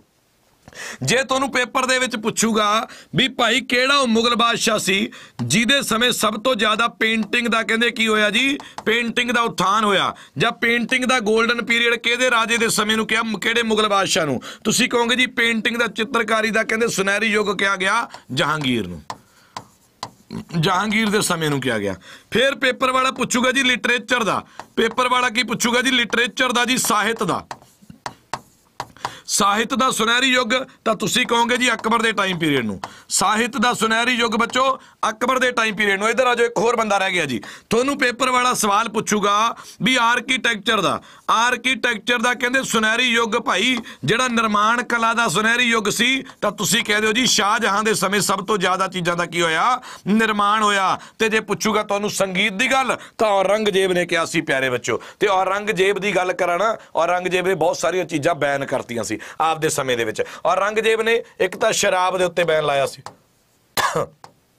ਔਰੰਗਜ਼ੇਬ ਨੇ ਬੱਚੋ ਸ਼ਰਾਬ ਦੇ ਉੱਤੇ ਬੈਨ ਲਾਇਆ ਸ਼ਰਾਬ ਤੋਂ ਬਾਅਦ ਔਰੰਗਜ਼ੇਬ ਨੇ ਬੱਚੋ ਜਿਹੜਾ ਰੇਸ਼ਮ ਦਾ ਕੱਪੜਾ ਸੀ ਉਹਦੇ ਤੇ ਬੈਨ ਲਗਾ ਦਿੱਤਾ ਜੀ ਔਰੰਗਜ਼ੇਬ ਕੱਟ- ਬਹੁਤ ਕੱਟੜ ਤਰੀਕੇ ਨਾਲ ਆਪਦੇ ਧਰਮ ਨੂੰ ਮੰਨਿਆ ਕਰਦਾ ਸੀ ਤੇ ਔਰੰਗਜ਼ੇਬ ਨੇ ਬੱਚੋ 뮤직 ਦੇ ਉੱਤੇ ਉਹ ਜਿਹੜਾ ਕੜਕਦਾ ਭੜਕਦਾ 뮤직 ਸੀ ਨਾ ਢੋਲ ਧਮਾਕਿਆਂ ਵਾਲਾ ਉਸ 뮤직 ਨੂੰ ਵੀ ਬੈਨ ਕਰ ਦਿੱਤਾ ਸੀ 뮤직 ਨੂੰ ਵੀ ਬੈਨ ਕਰ ਦਿੱਤਾ ਸੀ ਕੜਕਦੇ ਭੜਕਦੇ ਨੂੰ ਸ਼ਾਸਤਰੀ 뮤직 ਸੁਣਨ ਦਾ ਔਰੰਗਜ਼ੇਬ ਜਿਹੜਾ ਬੱਚੋ ਸ਼ਕੀਨ ਸੀ ਪਿਆਰੇ ਬੱਚੋ ਬਹੁਤ ਅੱਛੇ ਅਗਲੇ ਕੁਐਸਚਨ ਦੇ ਵੱਲ ਚਲੀਏ ਇਹਨੂੰ ਅ, ਔਰੰਗਜ਼ੇਬ ਨੂੰ ਵੀਨਾ ਬੜੀ ਸੋਹਣੀ ਵਜਾਉਣੀ ਆਉਂਦੀ ਸੀ ਵੀਨਾ ਜਿਹੜਾ ਸਭ ਤੋਂ ਪ- ਪੁਰਾਣਾ ਸੰਗੀਤਕ ਸਾਜ਼ ਹੈ ਹਿੰਦੁਸਤਾਨ ਦਾ ਉਹ ਔਰੰਗਜ਼ੇਬ ਵਜਾ ਲਿਆ ਕਰਦਾ ਸੀ ਪਰ ਉਹਨੂੰ ਕੜਕਦਾ ਭੜਕਦਾ ਜਾਂ ਆਪਾਂ ਮੈਂ ਕਹਿੰਦਾ ਜਿਹੜੇ 뮤직 ਦੀ ਸੈਂਸ ਨਹੀਂ ਸੀ ਉਹ ਨਹੀਂ ਇਹਨੂੰ ਪਸੰਦ ਆਉਂਦਾ ਸੀ ਉਹ ਵਾਲਾ 뮤직 आज एक बार देखो आया शनिवार पार्टी करने के लिए बेबी जी हो गई तैयार सरोजनी के कपड़े पहन के जाती मैडम डिस्को वीआईपी में कॉम्प्लीमेंट्री शॉर्ट्स भी दे दो इसको इसको गाड़ी चाहिए लंबी उसमें म्यूजिक चाहिए लाउड ये जाती वहां जहां होता है इसका क्राउड लुधियाने से आई लड़की यूनिवर्सिटी पढ़ती है कहती तो है स्टूडेंट बट आई डाउट ਉਹ ਵਾਲਾ 뮤직 ਇਹਨੂੰ ਪਸੰਦ ਨਹੀਂ ਸੀ ਪਿਆਰੇ ਬੱਚੋ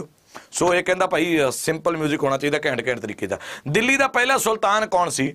ਜਿਨੇ ਦੱਖਣੀ ਭਾਰਤ ਨੂੰ ਜਿੱਤਣ ਦੀ ਕੋਸ਼ਿਸ਼ ਕੀਤੀ। ਮੈਂ ਕਹਿਣਾ ਜੀ 99% ਪੇਪਰ ਦੇ ਵਿੱਚ ਇਹ ਸਵਾਲ ਆਉਣ ਦੇ ਚਾਂਸ ਨੇ। ਗਾਰੰਟੀ ਨਾਲ ਲਿਖ ਕੇ ਦਿੰਨਾ। ਮੈਂ ਕਹਿਣਾ ਜੀ, ਮੈਥੋਂ ਲਿਖ ਕੇ ਲੈ ਲਓ। ਇਹ ਪੇਪਰ ਸਵਾਲ ਦੇ ਵਿੱਚ, ਪੇਪਰ ਜਿਹੜਾ ਹੈ, ਆਊਗਾ, ਹੀ ਆਊਗਾ ਬੱਚੋ। ਪੇਪਰ ਦੇ ਵਿੱਚ ਇਹ ਸਵਾਲ ਆਉਣਾ, ਹੀ ਆਉਣਾ, ਮੀਂਹ ਨੇਰੀ ਤੂਫਾਨ, ਝੱਖੜ ਆ ਸਕਦਾ ਹੈ। ਤੇ ਕੁਐਸਚਨ 100% ਪੇਪਰ ਦੇ ਵਿੱਚ ਆਉਣ ਦੇ ਚਾਂਸ ਹੈ ਦਿੱਲੀ ਦਾ ਪਹਿਲਾ ਸੁਲਤਾਨ, ਪਿਆਰੇ ਬੱਚੋ। ਨਹੀਂ ਆ ਰਿਹਾ ਸਮਝ? ਨਹੀਂ ਆ ਰਿਹਾ ਸਮਝ? ਇਹ ਕੁਐਸਚਨ ਨਹੀਂ ਪਤਾ ਲੱਗ ਰਿਹਾ? ਇਧਰ ਆਜੋ ਜੀ। ਇਧਰ ਆਜੋ ਦੇਖੋ ਆ ਕੀ ਸ਼ਬਦ ਲਿਖਿਆ ਜੀ? ਸੁਲਤਾਨ ਸ਼ਬਦ ਲਿਖਿਆ। ਪਹਿਲਾਂ ਸੁਲਤਾਨ ਦੇਖਦੇ ਆ ਜੀ, ਸੁਲਤਾਨ ਕੀ ਹੁੰਦਾ? ਸਰ, ਅਸੀਂ ਸ਼ਾਸਕ ਪੜਿਆ ਅਸੀਂ ਰਾਜਾ ਪੜਿਆ ਅਸੀਂ ਸਰ ਸੁਲਤਾਨ ਪੜਿਆ ਸਾਨੂੰ ਸੁਲਤਾਨ ਦੱਸੋ ਕੀ ਹੁੰਦਾ? ਪਹਿਲਾਂ ਤਾਂ ਜਿਨ੍ਹਾਂ ਦੇ ਅੰਦਰ ਨਾ ਅੱਗ ਲੱਗੀ ਪਈ ਆ, ਜਿਹਨਾਂ ਨੂੰ ਲੱਗ ਰਿਹਾ, ਬਸ ਮੇਰਾ ਉੱਤਰ ਤਾਂ ਸਹੀ ਆ I am the best in the world ਹੈ?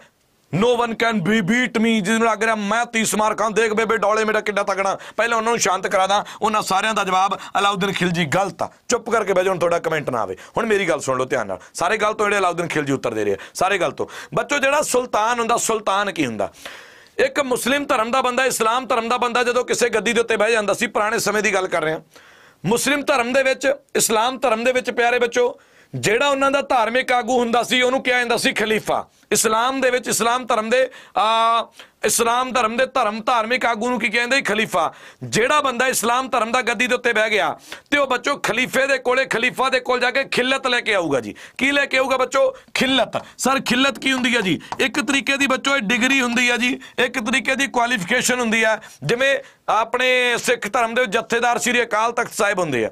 ਉਹ ਜਦੋਂ ਕੋਈ ਹੁਕਮਨਾਮਾ ਜਾਰੀ ਕਰਦਾ ਕੋਈ ਹੁਕਮ ਜਾਰੀ ਕਰਦਾ ਉਹ ਮੰਨਣਾ ਪੈਂਦਾ ਸਾਰੀ ਕੌਮ ਨੂੰ। ਤੇ ਉਸੇ ਤਰੀਕੇ ਨਾਲ ਬੱਚੋ, ਜਦੋਂ ਕਹਿੰਦੇ ਇਸਲਾਮ ਧਰਮ ਦਾ ਬੋਲਬਾਲਾ ਸੀ, ਉਦੋਂ ਉਹਨਾਂ ਦੇ ਖਲੀਫੇ ਖਲੀਫਾ ਤੋਂ ਜਾ ਕੇ ਇਸਲਾਮ ਧਰਮ ਦਾ ਬੰਦਾ ਖਿੱਲਤ ਲੈ ਕੇ ਆਉਂਦਾ ਸੀ। ਐਗਜ਼ਾਮਪਲ ਦੇ ਤੌਰ ਤੇ ਜੇ ਅੱਜ ਤੁਸੀਂ ਸਪਰੇਆਂ ਦੀ ਦੁਕਾਨ ਖੋਲਣੀ ਹੈ ਪਿੰਡ ਦੇ ਵਿੱਚ, ਤਾਂ ਤੁਹਾਡੇ ਕੋਲ ਬੀਐਸਸੀ ਐਗਰੀਕਲਚਰ ਦੀ ਡਿਗਰੀ ਹੋਣੀ ਲਾਜ਼ਮੀ ਹੈ। ਜੇ ਤੁਸੀਂ ਮੈਡੀਕਲ ਖੋਲਣਾ, ਤੁਹਾਡੇ ਕੋਲ ਲਾਇਸੈਂਸ ਹੋਣਾ ਲਾਜ਼ਮੀ ਹੈ। ਤੇ ਬੱਚੋ, ਜੇ ਕਿਸੇ ਰਾਜੇ ਨੇ, ਮੁਸਲਿਮ ਧਰਮ ਦੇ ਰਾਜੇ ਨੇ ਆਪਣੇ ਆਪ ਨੂੰ ਸੁਲਤਾਨ ਕਹਾਉਣਾ ਨਾ, ਉਹਨੇ ਸੁਲਤਾਨ ਦਾ ਟਾਈਟਲ ਲੈਣਾ, ਤਾਂ ਉਹਨੂੰ ਬੱਚੋ ਖਿੱਲਤ ਲੈਣੀ ਪਊਗੀ। ਪਿਆਰੇ ਦੋਸਤੋ, ਯਾਦ ਰੱਖਿਓ, ਇਸ ਕੁਐਸਚਨ ਦੇ ਨਾਲ ਇਹਦਾ ਕੀ ਸਬੰਧ ਆ? ਅਲਾਉਦੀਨ ਖਿਲਜੀ ਤਾਂ ਸਿਰਫ ਉਦੋਂ ਸੈਨਾਪਤੀ ਸੀ, ਸੁਲਤਾਨ ਉਦੋਂ ਜਲਾਲੂ ਜਲਾਲੂਦੀਨ ਫਿਰੋਜ਼ ਖਿਲਜੀ ਸੀ। ਬੋਲੋ, ਤਾਰਾ ਰਾਰਾ। ਬੋਲੋ, ਤਾਰਾ ਰਾਰਾ ਬੋਲ ਦੋ ਕਿਉਂ? ਕਿਉਂਕਿ ਤੁਹਾਡਾ ਗਲਤ ਹੋ ਚੁੱਕਿਆ। ਅਲਾਉਦੀਨ ਖਿਲਜੀ ਬਿਲਕੁਲ ਸਹੀ ਉੱਤਰ ਵੀ ਜਿਹਨੇ ਦੱਖਣੀ ਭਾਰਤ ਤੇ ਹਮਲਾ ਕੀਤਾ, ਮੈਂ ਤੁਹਾਡੀ ਗੱਲ ਨਾਲ ਸਹਿਮਤ ਹਾਂ। ਪਰ every day is not Sunday my dear friends ਇਹ ਪੁੱਛ ਰਿਹਾ ਰਾਜਾ ਕੌਣ ਸੀ? ਰਾਜਾ ਸੀ ਜਲਾਲੂਦੀਨ ਫਿਰੋਜ਼ ਖਿਲਜੀ, ਜੋ ਕਿ ਅਲਾਉਦੀਨ ਖਿਲਜੀ ਦਾ ਚਾਚਾ ਹੋਇਆ ਕਰਦਾ ਸੀ। ਆਪਦੇ ਭਤੀਜੇ ਨੂੰ ਭੇਜੇ ਜਾ ਕੇ ਹਮਲਾ ਕਰਕੇ। ਹੈ ਸੌਰੀ ਸਰ ਬੋਲ ਦਿਓ ਇਹਨਾਂ ਦਾ ਗਲਤ ਹੋਇਆ। ਸੌਰੀ ਸਰ ਬੋਲਦੇ ਹੋ ਜਿਨ੍ਹਾਂ ਦਾ ਗਲਤ ਹੋਇਆ ਪਿਆਰੇ ਬੱਚੋ ਅਗਲਾ ਕੁਐਸਚਨ ਭਾਰਤ ਵਿੱਚ ਪੁਰਤਗਾਲੀਆਂ ਦਾ ਪਹਿਲਾ ਰੀਅਲ ਗਵਰਨਰ ਕੌਣ ਹੋਇਆ ਕਰਦਾ ਸੀ ਪੁਰਤਗਾਲੀਆਂ ਦਾ ਬੱਚੋ ਰੀਅਲ ਗਵਰਨਰ ਕੌਣ ਸੀ ਭਾਰਤ ਦੇ ਵਿੱਚ ਪਹਿਲਾ ਰੀਅਲ गवर्नर बच्चों सर आप आर्टिकल करवाने वाले थे अंजू जी उसके लिए थोड़ा सा प्लान चेंज हो गया आज ऑफिस में छुट्टी है काफी सारी चीजें जो मेरे को प्रोवाइड करवानी थी वो नहीं हो पाई आज सो इसके लिए आर्टिकल्स वाला प्लान प्लान जो है वो आगे कर दिया गया है सो उसके लिए मैं माफी चाहूंगा हाँ आप सभी से निवेदन है कि कृपया मुझे माफ कर दिया जाए आर्टिकल वाली क्लास हम आगे ले लेंगे कोई बात नहीं ਆਪਣੇ ਦਿਨ ਆਪਣੀਆਂ ਰਾਤਾਂ ਆਪਣੀਆਂ ਕਲਾਸਾਂ ਆਪਣੀਆਂ ਬਾਤਾਂ ਜਦੋਂ ਮਰਜ਼ੀ ਲੈ ਲਾਂ ਕੋਈ ਚੱਕਰ ਵਾਲੀ ਗੱਲ ਨਹੀਂ ਬੱਚੋ ਸੋ ਇਹਦੀ ਪੀਡੀਐਫ ਮਿਲ ਜੂਗੀ ਟੈਨਸ਼ਨ ਨਾ ਮੈਨੂੰ ਇਸ ਕਲਾਸ ਦੀ ਬੱਚੋ ਪੀਡੀਐਫ ਤੁਹਾਨੂੰ ਮਿਲ ਜੂਗੀ ਟੈਨਸ਼ਨ ਨਹੀਂ ਲੈਣੀ ਆਰਾਮ ਨਾਲ ਪੜੋ ਪੀਡੀਐਫ ਮੈਂ ਦੇ ਦੂੰਗਾ ਚਲੋ ਇਹਦਾ ਉੱਤਰ ਕੀ ਹੋਊਗਾ ਜੀ ਪਿਆਰੇ ਦੋਸਤੋ ਪੁਰਤਗਾਲੀਆ ਦਾ ਪਹਿਲਾ ਗਵਰਨਰ ਕੌਣ ਸੀ ਪਹਿਲਾ ਗਵਰਨਰ ਕੌਣ ਸੀ ਪਿਆਰੇ ਬੱਚੋ ਪਹਿਲਾ ਗਵਰਨਰ ਸੀ ਸਾਡੇ ਕੋਲ ਅਲਮੀਡਾ ਮੈਨੂੰ ਨਾ ਗੁੱਸਾ ਬੜਾ ਚੜਦਾ ਸੌ ਲੱਗੇ ਬਾਈ ਬਾਲਾ ਗੁੱਸਾ ਚੜਦਾ ਆ ਲਓ ਜੀ ਆ ਕਿਰਨਦੀਪ, ਇਹ ਦੇ ਰਿਹਾ ਜੀ ਉੱਤਰ। ਬਾਈ 99% ਉੱਤਰ ਕੀ ਦੇ ਰਿਹਾ ਜੀ? 99% ਉੱਤਰ ਦੇ ਰਿਹਾ ਅਲਮੀਡਾ। ਇਹਨਾਂ ਦੀ ਤਾਂ ਉਹ ਗੱਲ ਆ ਵੀ ਆਪਣਾ ਕੰਮ ਕੀਤਾ। ਢੱਠੇ ਖੂ ਜਾਵੇ ਜੀਤਾ। ਅਸੀਂ ਕੀ ਲੈਣਾ? ਉੱਪਰ ਪੜਿਆ ਭਾਰਤ ਵਿੱਚ ਪੁਰਤਗਾਲੀਆ ਦਾ ਪਹਿਲਾ ਗਵਰਨਰ, ਪਹਿਲਾ ਰੀਅਲ ਗਵਰਨਰ ਬਾਲਮੀਡਾ ਹੀ ਆ ਗਾਣੀ ਆਪਸ਼ਨਾਂ ਨਹੀਂ ਪੜਨੀਆਂ ਉਹ ਕਮਲੇ ਬੰਦੇ, ਉਹ ਇੱਧਰ ਆ ਜਾਓ, ਗਲਤ ਆ। ਆ ਦੇਖੋ, ਸ਼ਬਦ ਦੇਖੋ, ਇੱਕ ਕੀ ਲਿਖਿਆ। ਰੀਅਲ ਲਿਖਿਆ ਨਾ, ਜਦੋਂ ਰੀਅਲ ਲਿਖਿਆ ਹੋਊਗਾ, ਉਦੋਂ ਅਲਮੀਡਾ ਨਹੀਂ ਆਊਗਾ। ਰੀਅਲ ਗਵਰਨਰ ਅਲਬੀ ਕੁਰਕ ਨੂੰ ਬੋਲਿਆ ਜਾਂਦਾ ਜੀ। ਰੀਅਲ ਗਵਰਨਰ ਕਿਸ ਨੂੰ ਬੋਲਿਆ ਜਾਂਦਾ? ਐਲਬੀ ਕੁਰਕ ਨੂੰ ਬੋਲਿਆ ਜਾਂਦਾ। ਆਹੀ ਗਲਤੀ ਕਰਦੇ ਆ, ਪੇਪਰ 'ਚ ਮੈਂ ਐਂ ਮਰਦੇ ਆ ਆਪਾਂ। ਇੱਕ ਇੱਕ ਨੰਬਰ ਆਪਣਾ ਹੀ ਖਰਾਬ ਹੁੰਦਾ। ਪੂਰਾ ਕੁਐਸਚਨ ਪੜ੍ਹਨਾ ਨਹੀਂ, ਦੇਖਣਾ ਨਹੀਂ, ਸਮਝਣਾ ਨਹੀਂ, ਬਸ ਦੇ ਤੁੱਕੇ ਤੇ ਤੁੱਕਾ, ਠਾ ਤੁੱਕਾ। ਹੈ? ਉਹ ਕਮਲੇ ਬੰਦਿਓ ਜੇ ਪੁੱਛੂਗਾ ਪਹਿਲਾ ਗਵਰਨਰ ਕੌਣ ਆ, ਤਾਂ ਅਲਮੀਡਾ ਸੀ, ਪਹਿਲਾ ਰੀਅਲ ਗਵਰਨਰ ਅਲਬੂਕਰਕ ਸੀ। ਕਿਉਂਕਿ ਅਲਬੂਕਰਕ ਨੇ ਬਹੁਤ ਸਾਰੇ ਚੇਂਜਸ ਕੀਤੇ ਸੀ ਪੁਰਤਗਾਲੀਆਂ ਦੀਆਂ ਸਟ੍ਰੈਟਜੀਜ਼ ਦੇ ਵਿੱਚ ਆ ਕੇ, ਇਸ ਕਰਕੇ ਉਹਨੂੰ ਰੀਅਲ ਗਵਰਨਰ ਆਫ ਪੁਰਤਗੀਜ਼ ਕਿਹਾ ਜਾਂਦਾ, ਪਿਆਰੇ ਬੱਚੋ ਬਹੁਤ ਅੱਛੇ ਜੀ ਕੀ ਬਾਤ ਹੈ। ਅਗਲੇ ਕੁਐਸਚਨ ਦੇ ਵੱਲ ਚੱਲਦੇ ਹਾਂ ਜੀ। ਅਗਲਾ ਸਵਾਲ, ਹੇਠਾਂ ਦਿੱਤੇ ਵਿੱਚੋਂ ਗਾਂਧੀ ਜੀ ਨੇ ਕਿਸ ਨੂੰ ਜ਼ਮੀਰ ਰੱਖਣ ਵਾਲਾ ਕਿਹਾ ਗਿਆ ਸੀ ਬੱਚੋ ਗਾਂਧੀ ਜੀ ਨੇ ਕਿਸ ਨੂੰ ਕਿਹਾ ਸੀ? ਕੌਨਸੀਅੰਸ ਕੀਪਰ ਜਾਂ ਭਾਈ ਜ਼ਮੀਰ ਰੱਖਣ ਵਾਲਾ। ਜ਼ਮੀਰ ਰੱਖਣ ਵਾਲਾ ਗਾਂਧੀ ਜੀ ਨੇ ਬੱਚੋ ਕਿਸ ਨੇ ਕਿਹਾ ਸੀ? ਗਾਂਧੀ ਜੀ ਨੇ। ਕਿਸ ਨੂੰ ਕਿਹਾ ਸੀ? ਪੰਜਾਬ ਪੁਲਿਸ ਕਾਉਂਸਲ ਚ ਚੈਸਟ ਮਿਲਦੇ ਆ ਸਰ ਜੀ। ਨਹੀਂ, ਅਮਨ ਨਹੀਂ ਮਿਲਦੇ ਯਾਰ, ਚੈਸਟ ਦਾ ਕੋਈ ਰੋਲ ਨਹੀਂ, ਚੈਸਟ ਦਾ ਉਹਦੇ ਚ। ਚਲੋ ਪਿਆਰੇ ਬੱਚੋ, ਇਸ ਸਵਾਲ ਦਾ ਜਵਾਬ ਦਿਓ। ਜਿਨ੍ਹਾਂ ਨੇ ਲਾਈਕ ਵਾਲਾ ਬਟਨ ਨਹੀਂ ਦਬਿਆ, ਇੱਕ ਵਾਰੀ ਲਾਈਕ ਵਾਲਾ ਬਟਨ ਵੀ ਦਬ ਦਿਓ ਜੀ। ਜਿਨ੍ਹਾਂ ਨੇ ਲਾਈਕ ਵਾਲਾ ਬਟਨ ਪਿਆਰੇ ਬੱਚੋ ਨਹੀਂ ਦਬਿਆ, ਇੱਕ ਵਾਰੀ ਲਾਈਕ ਵਾਲਾ ਬਟਨ ਵੀ ਦਬ ਦਿਓ ਤੇ ਡੇਲੀ ਸ਼ਾਮ ਨੂੰ 5 ਵਜੇ ਆਪਣੀ ਕਲਾਸ ਹੁੰਦੀ ਹੈ ਡੇਲੀ ਆਇਆ ਕਰੋ, ਇੱਕ ਦਿਨ ਆ ਕੇ ਮੁੜ ਜਾਂਦੇ ਹੋ, ਫਿਰ ਸਤਿ ਸ੍ਰੀ ਅਕਾਲ ਕਰ ਦਿੰਦੇ ਹੋ। ਡੇਲੀ ਸ਼ਾਮ ਨੂੰ 5 ਵਜੇ ਆਉਣਾ ਹੁੰਦਾ। ਹੇਠਾਂ ਦਿੱਤੇ ਵਿੱਚੋਂ ਕਿਸ ਨੂੰ ਕਿਹਾ ਸੀ? ਬਾਈ ਜੀ, ਸਿੱਧੀ ਜੀ ਗੱਲ ਆ, ਸਭ ਤੋਂ ਜ਼ਿਆਦਾ ਇੱਜ਼ਤ ਬੰਦਾ ਕਿਹਨੂੰ ਦਿੰਦਾ? ਜਾਂ ਆਪਦੇ ਮਾਪੇ ਨੂੰ ਦਿੰਦਾ ਜਾਂ ਆਪਦੇ ਗੁਰੂ ਨੂੰ ਦਿੰਦਾ? ਗੁਰੂ ਨੂੰ ਇੱਜ਼ਤ ਕਿਉਂ ਦਿੰਦਾ? ਕਿਉਂਕਿ ਭਾਈ ਅੰਬ ਅੰਬ ਹੁੰਦਾ ਜੀ ਕੇਲਾ ਕੇਲਾ ਹੁੰਦਾ ਜੀ। ਬੱਕਰਾ ਬੱਕਰਾ ਤੇ ਲੇਲਾ ਲੇਲਾ ਹੁੰਦਾ ਜੀ। ਬੱਸ ਬੱਸ ਤੇ ਠੇਲਾ ਠੇਲਾ ਹੁੰਦਾ। ਕਾਮਾ ਕਾਮਾ ਤੇ ਵੇਲਾ ਵੇਲਾ ਹੁੰਦਾ। ਗੁਰੂ ਗੁਰੂ ਤੇ ਚੇਲਾ ਚੇਲਾ ਹੁੰਦਾ। ਗੁਰੂ ਕੌਣ ਜੀ? ਗੁਰੂ ਆ ਗੋਪਾਲ ਕ੍ਰਿਸ਼ਨ ਗੋਖਲੇ ਤੇ ਚੇਲਾ ਕੌਣ ਬੱਚੋ? ਮਹਾਤਮਾ ਗਾਂਧੀ ਜੀ। ਮਹਾਤਮਾ ਗਾਂਧੀ ਜੀ ਦੇ ਪੋਲੀਟੀਕਲ ਗੁਰੂ ਗੋਪਾਲ ਕ੍ਰਿਸ਼ਨ ਗੋਖਲੇ ਨੂੰ ਕੀ ਕਿਹਾ ਸੀ? ਗਾਂਧੀ ਜੀ ਨੇ, ਜ਼ਮੀਰ ਰੱਖਣ ਵਾਲਾ ਇਨਸਾਨ ਪਿਆਰੇ ਬੱਚੋ। ਕੀ ਕਿਹਾ ਸੀ ਜੀ? ਜ਼ਮੀਰ ਰੱਖਣ ਵਾਲਾ ਇਨਸਾਨ। ਸਰ ਪੀਡੀਐਫ ਕਿੱਥੇ ਮਿਲਣਗੇ? ਦੱਸ ਦਿਓ ਯਾਰ ਪੀਡੀਐਫ ਤਮੰਨਾ ਜੀ ਨੂੰ ਕਿੱਥੇ ਮਿਲੂਗੀ? ਚਲੋ ਜੀ। ਦੱਬ ਦਿਓ ਯਾਰ ਲਾਈਕ ਵਾਲਾ ਬਟਨ ਕੀ ਕਰੋਗੇ ਕਿੱਧਰ ਲੈ ਕੇ ਜਾਓਗੇ ਲਾਈਕ ਕਿੱਧਰ ਲੈ ਕੇ ਜਾਓਗੇ? ਕਲਾਸ ਤੋਂ ਬਾਅਦ ਕੰਮ ਹੋਣੇ ਆ ਤੁਹਾਡੇ ਹੋ ਹੈ, ਦੱਸੋ ਮੈਨੂੰ। ਕੋਈ ਤੁਹਾਡੇ ਫੋਨ ਦੇ ਵਿੱਚੋਂ ਪੈਸੇ ਕੱਟੇ ਜਾਣਗੇ 5-6 ਲੱਖ ਜਿਹੜਾ ਪਿਆ ਤੁਹਾਡੇ ਖਾਤੇ 'ਚ, ਉੱਡ ਜੂਗਾ ਸਾਰਾ ਉਹ। ਸਰ ਕਨਸਟੇਬਲ ਲਿਖ ਕੇ ਨਹੀਂ ਆਈ ਚਾਹੀਦੀ ਹੈ? ਅੱਜ ਦੇ ਕਮੈਂਟਾਂ ਦੇ best winner winner of the class ਕੌਣ ਹੈ ਜੀ? Bitmoji vlogs. ਇੱਕ ਵਾਰੀ ਤਾੜੀਆਂ ਹੋ ਜਾਣ, ਬਿਟਮੋਜੀ ਵਲੌਗਸ ਦੇ ਨਾਲ ਦੇ ਨਾਮ ਦੇ ਉੱਤੇ।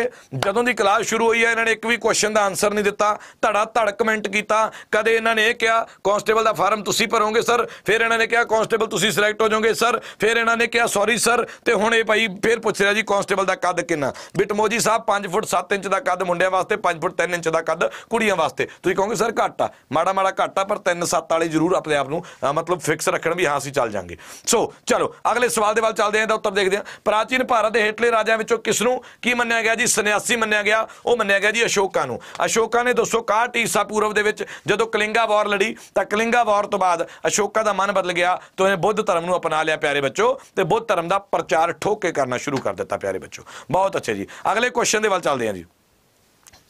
ਕਹਿੰਦੇ ਪੱਤਰਕਾਰੀ ਦੇ ਖੇਤਰ ਵਿੱਚ ਸਭ ਤੋਂ ਉੱਚਾ ਪੁਰਸਕਾਰ ਕਿਹੜਾ ਹੁੰਦਾ ਜੀ? Which is the highest award in the field of journalism in the field of journalism ਕਿਹੜਾ ਅਵਾਰਡ ਹੈ? ਜਿਹੜਾ ਪੱਤਰਕਾਰੀ ਦੇ ਖੇਤਰ ਦੇ ਵਿੱਚ ਸਭ ਤੋਂ ਵੱਡਾ ਪੁਰਸਕਾਰ ਹੈ ਪਿਆਰੇ ਬੱਚੋ। ਮੈਂ ਤੁਹਾਨੂੰ ਬਾਰ-ਬਾਰ ਇੱਕ ਗੱਲ ਕਹਿ ਰਿਹਾ, ਇਸ ਦੁਨੀਆ ਦੇ ਵਿੱਚ ਆਪਾਂ ਆਏ ਆ ਮਾਂ-ਬਾਪ ਨੇ ਆਪਾਂ ਨੂੰ ਇੰਨੇ ਕੁ ਜੋਗਾ ਕਰ ਦਿੱਤਾ, ਇੰਨੇ ਕੁ ਆਪਾਂ ਹੋ ਗਏ। ਆਪਣਾ ਦਿਮਾਗੀ ਸੰਤੁਲਨ ਵੀ ਠੀਕ ਆ ਪ੍ਰਮਾਤਮਾ ਦਾ ਸ਼ੁਕਰ ਮਨਾਇਆ ਕਰੋ। ਤੇ ਕਈ ਲੋਕ ਕਿਸਮਤ ਦਾ ਰੋਣਾ ਰੋਂਦੇ ਆ, ਵੀ ਯਾਰ ਮੇਰੇ ਹੱਥਾਂ ਦੇ ਵਿੱਚ ਨਾ ਮੇਰੀਆਂ ਸ਼ਾਇਦ ਲਕੀਰਾਂ ਦੇ ਵਿੱਚ ਤਾਂ ਨੌਕਰੀ ਲਿਖੀ ਨਹੀਂ, ਮੇਰੀਆਂ ਲਕੀਰਾਂ ਦੇ ਵਿੱਚ ਤਾਂ ਸ਼ਾਇਦ ਫਲਾਨੀ ਚੀਜ਼ ਲਿਖੀ ਕੋਈ ਨਹੀਂ।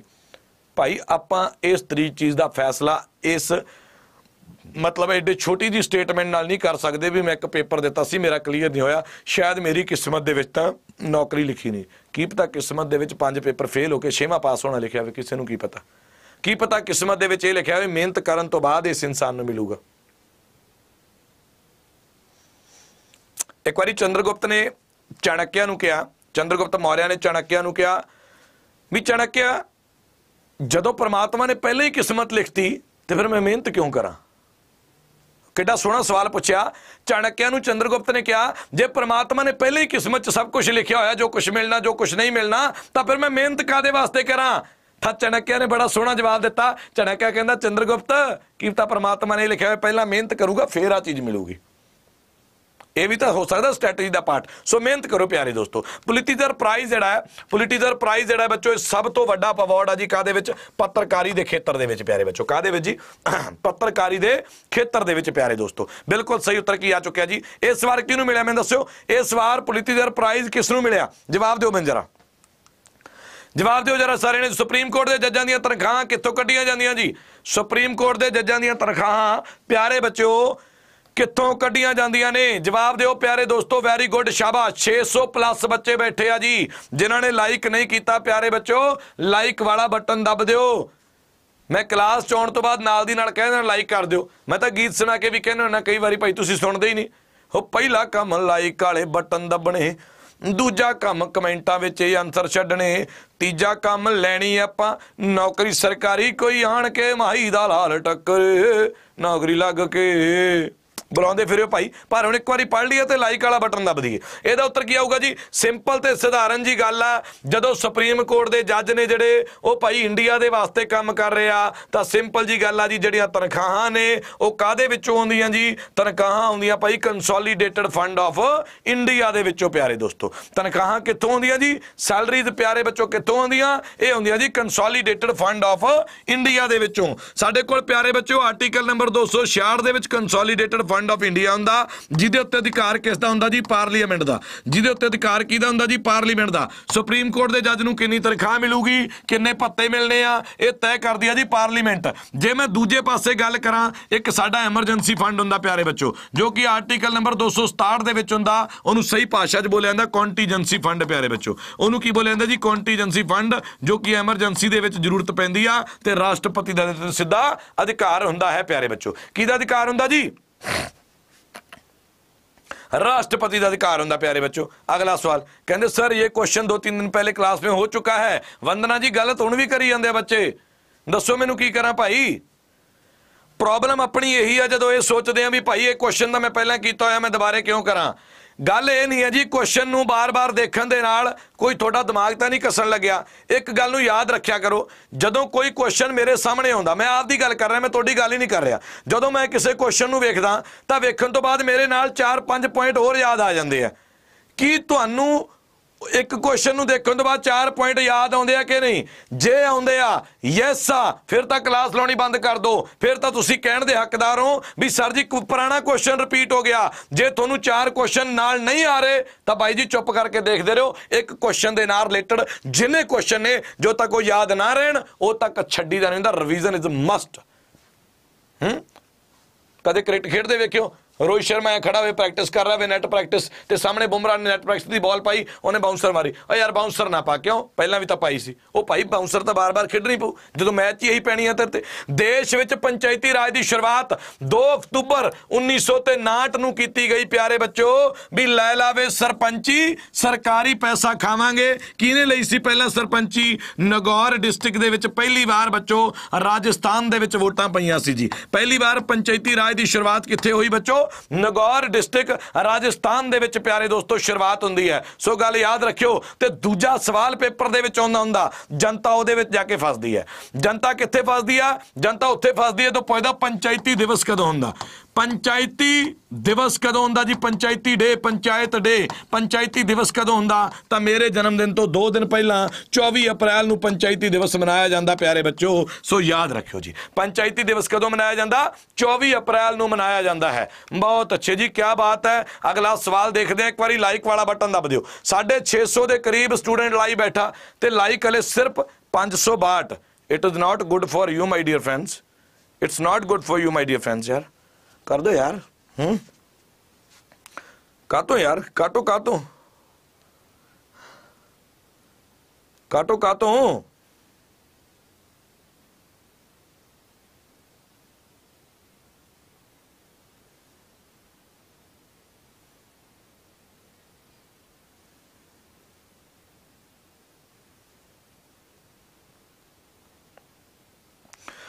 ਚਲੋ ਜੀ, ਕਹਿੰਦੇ ਹੇਠਾਂ ਲਿਖਿਆਂ ਵਿੱਚੋਂ ਕਿਹੜੀ ਸੰਸਥਾ ਜਿਹੜੀ ਵਿਧਾਨ ਸਭਾ ਦੀਆਂ ਚੋਣਾਂ ਕਰਵਾਉਂਦੀ ਹੈ? ਐਡਾ ਸੌਖਾ ਸਵਾਲ, ਸਰ। ਐਡਾ ਸੌਖਾ ਸਵਾਲ, ਸਰ। ਮੜਾ ਜਿਹਾ ਔਖਾ ਸਵਾਲ ਲੈ ਕੇ ਆਇਆ ਕਰੋ, ਸਰ। ਇਹ ਤਾਂ ਸਾਡੇ ਵਾਸਤੇ ਜਮਾ ਹੀ ਚੂਰਨ ਸਵਾਲ ਆ ਜੀ।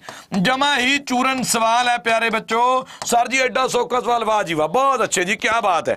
ਕੀ ਬਾਤ ਹੈ ਜੀ, ਜਸ਼ਨ ਭੁੱਲਰ ਜੀ, ਇਹ ਕਹਿ ਰਿਹਾ ਵੈਰੀ ਗੁੱਡ ਵੈਰੀ ਗੁੱਡ ਹਾਂ, ਗਗਨ ਮੋਲ ਜੀ, ਇਹ ਕਹਿ ਰਿਹਾ ਵੈਰੀ ਗੁੱਡ ਵੈਰੀ ਗੁੱਡ ਬਹੁਤ ਅੱਛੇ ਯਾਰ, ਬਹੁਤ ਅੱਛੇ। ਐਡਾ ਸੌਖਾ ਸਵਾਲ, ਸਰ। ਸਾਨੂੰ ਪਤਾ ਜੀ, ਸਟੇਟ ਦੀਆਂ ਚੋਣਾਂ ਨੇ। ਸਰ ਸਰ ਇਟਸ ਚੂਰਨ ਸਵਾਲ ਫॉर ਮੀ ਯੂ نو ਨਾ, ਵਿਧਾਨ ਸਭਾ ਸਟੇਟ ਦੇ ਵਿੱਚ ਹੁੰਦੀ ਹੈ ਜੀ। ਸਟੇਟ ਦੀਆਂ ਚੋਣਾਂ ਕੌਣ ਕਰਾਉਂਦਾ? ਸਟੇਟ ਇਲੈਕਸ਼ਨ ਕਮਿਸ਼ਨ ਕੀ ਬਾਤ, ਸਰ, ਕੋਈ ਔਖਾ ਸਵਾਲ ਪੁੱਛੋ। ਪਰ ਜੇ ਤੁਸੀਂ ਇਹ ਸੋਚ ਰਹੇ ਹੋ, ਜੇ ਤੁਹਾਡੇ ਮਨ 'ਚ ਇਹ ਗੱਲ ਆ ਰਹੀ ਆ, ਤਾਂ ਯਾਦ ਰੱਖੋ ਜੀ, ਜਿਨ੍ਹਾਂ ਦਾ ਉੱਤਰ ਇਹ ਆਇਆ, ਉਹਨਾਂ ਸਭ ਦਾ ਡੋਲੂ ਜਿਹੜਾ ਮਾਂਜਿਆ ਜਾ ਚੁੱਕਿਆ ਪਿਆਰੇ ਬੱਚੋ, ਉਹਨਾਂ ਸਭ ਦਾ ਡੋਲੂ ਬਿਲਕੁਲ ਸਾਫ਼ ਹੋ ਚੁੱਕਿਆ। ਕਿਉਂਕਿ ਗੱਲ ਯਾਦ ਰੱਖਿਓ, ਸਟੇਟ ਇਲੈਕਸ਼ਨ ਕਮਿਸ਼ਨ ਸਿਰਫ ਲੋਕਲ ਗਵਰਨਮੈਂਟ ਦੀਆਂ ਚੋਣਾਂ ਕਰਵਾਉਂਦੀ ਆ, ਪੰਚਾਇਤਾਂ ਦੀਆਂ ਮਿਊਨਿਸਪੈਲਿਟੀਆਂ ਦੀਆਂ, ਬਲਾਕ ਸਮਿਤੀ ਦੀਆਂ। ਭਾਈ ਪਿਆਰੇ ਬੱਚੋ, ਵਿਧਾਨ ਸਭਾ ਦੀਆਂ ਚੋਣਾਂ ਇਲੈਕਸ਼ਨ ਕਮਿਸ਼ਨ ਆਫ ਇੰਡੀਆ ਕਰਾਉਂਦਾ। ਜੀ ਹਜੂਰ, ਗਲਤ ਹੋ ਗਿਆ ਸਰ ਸਾਡੇ ਤੋਂ।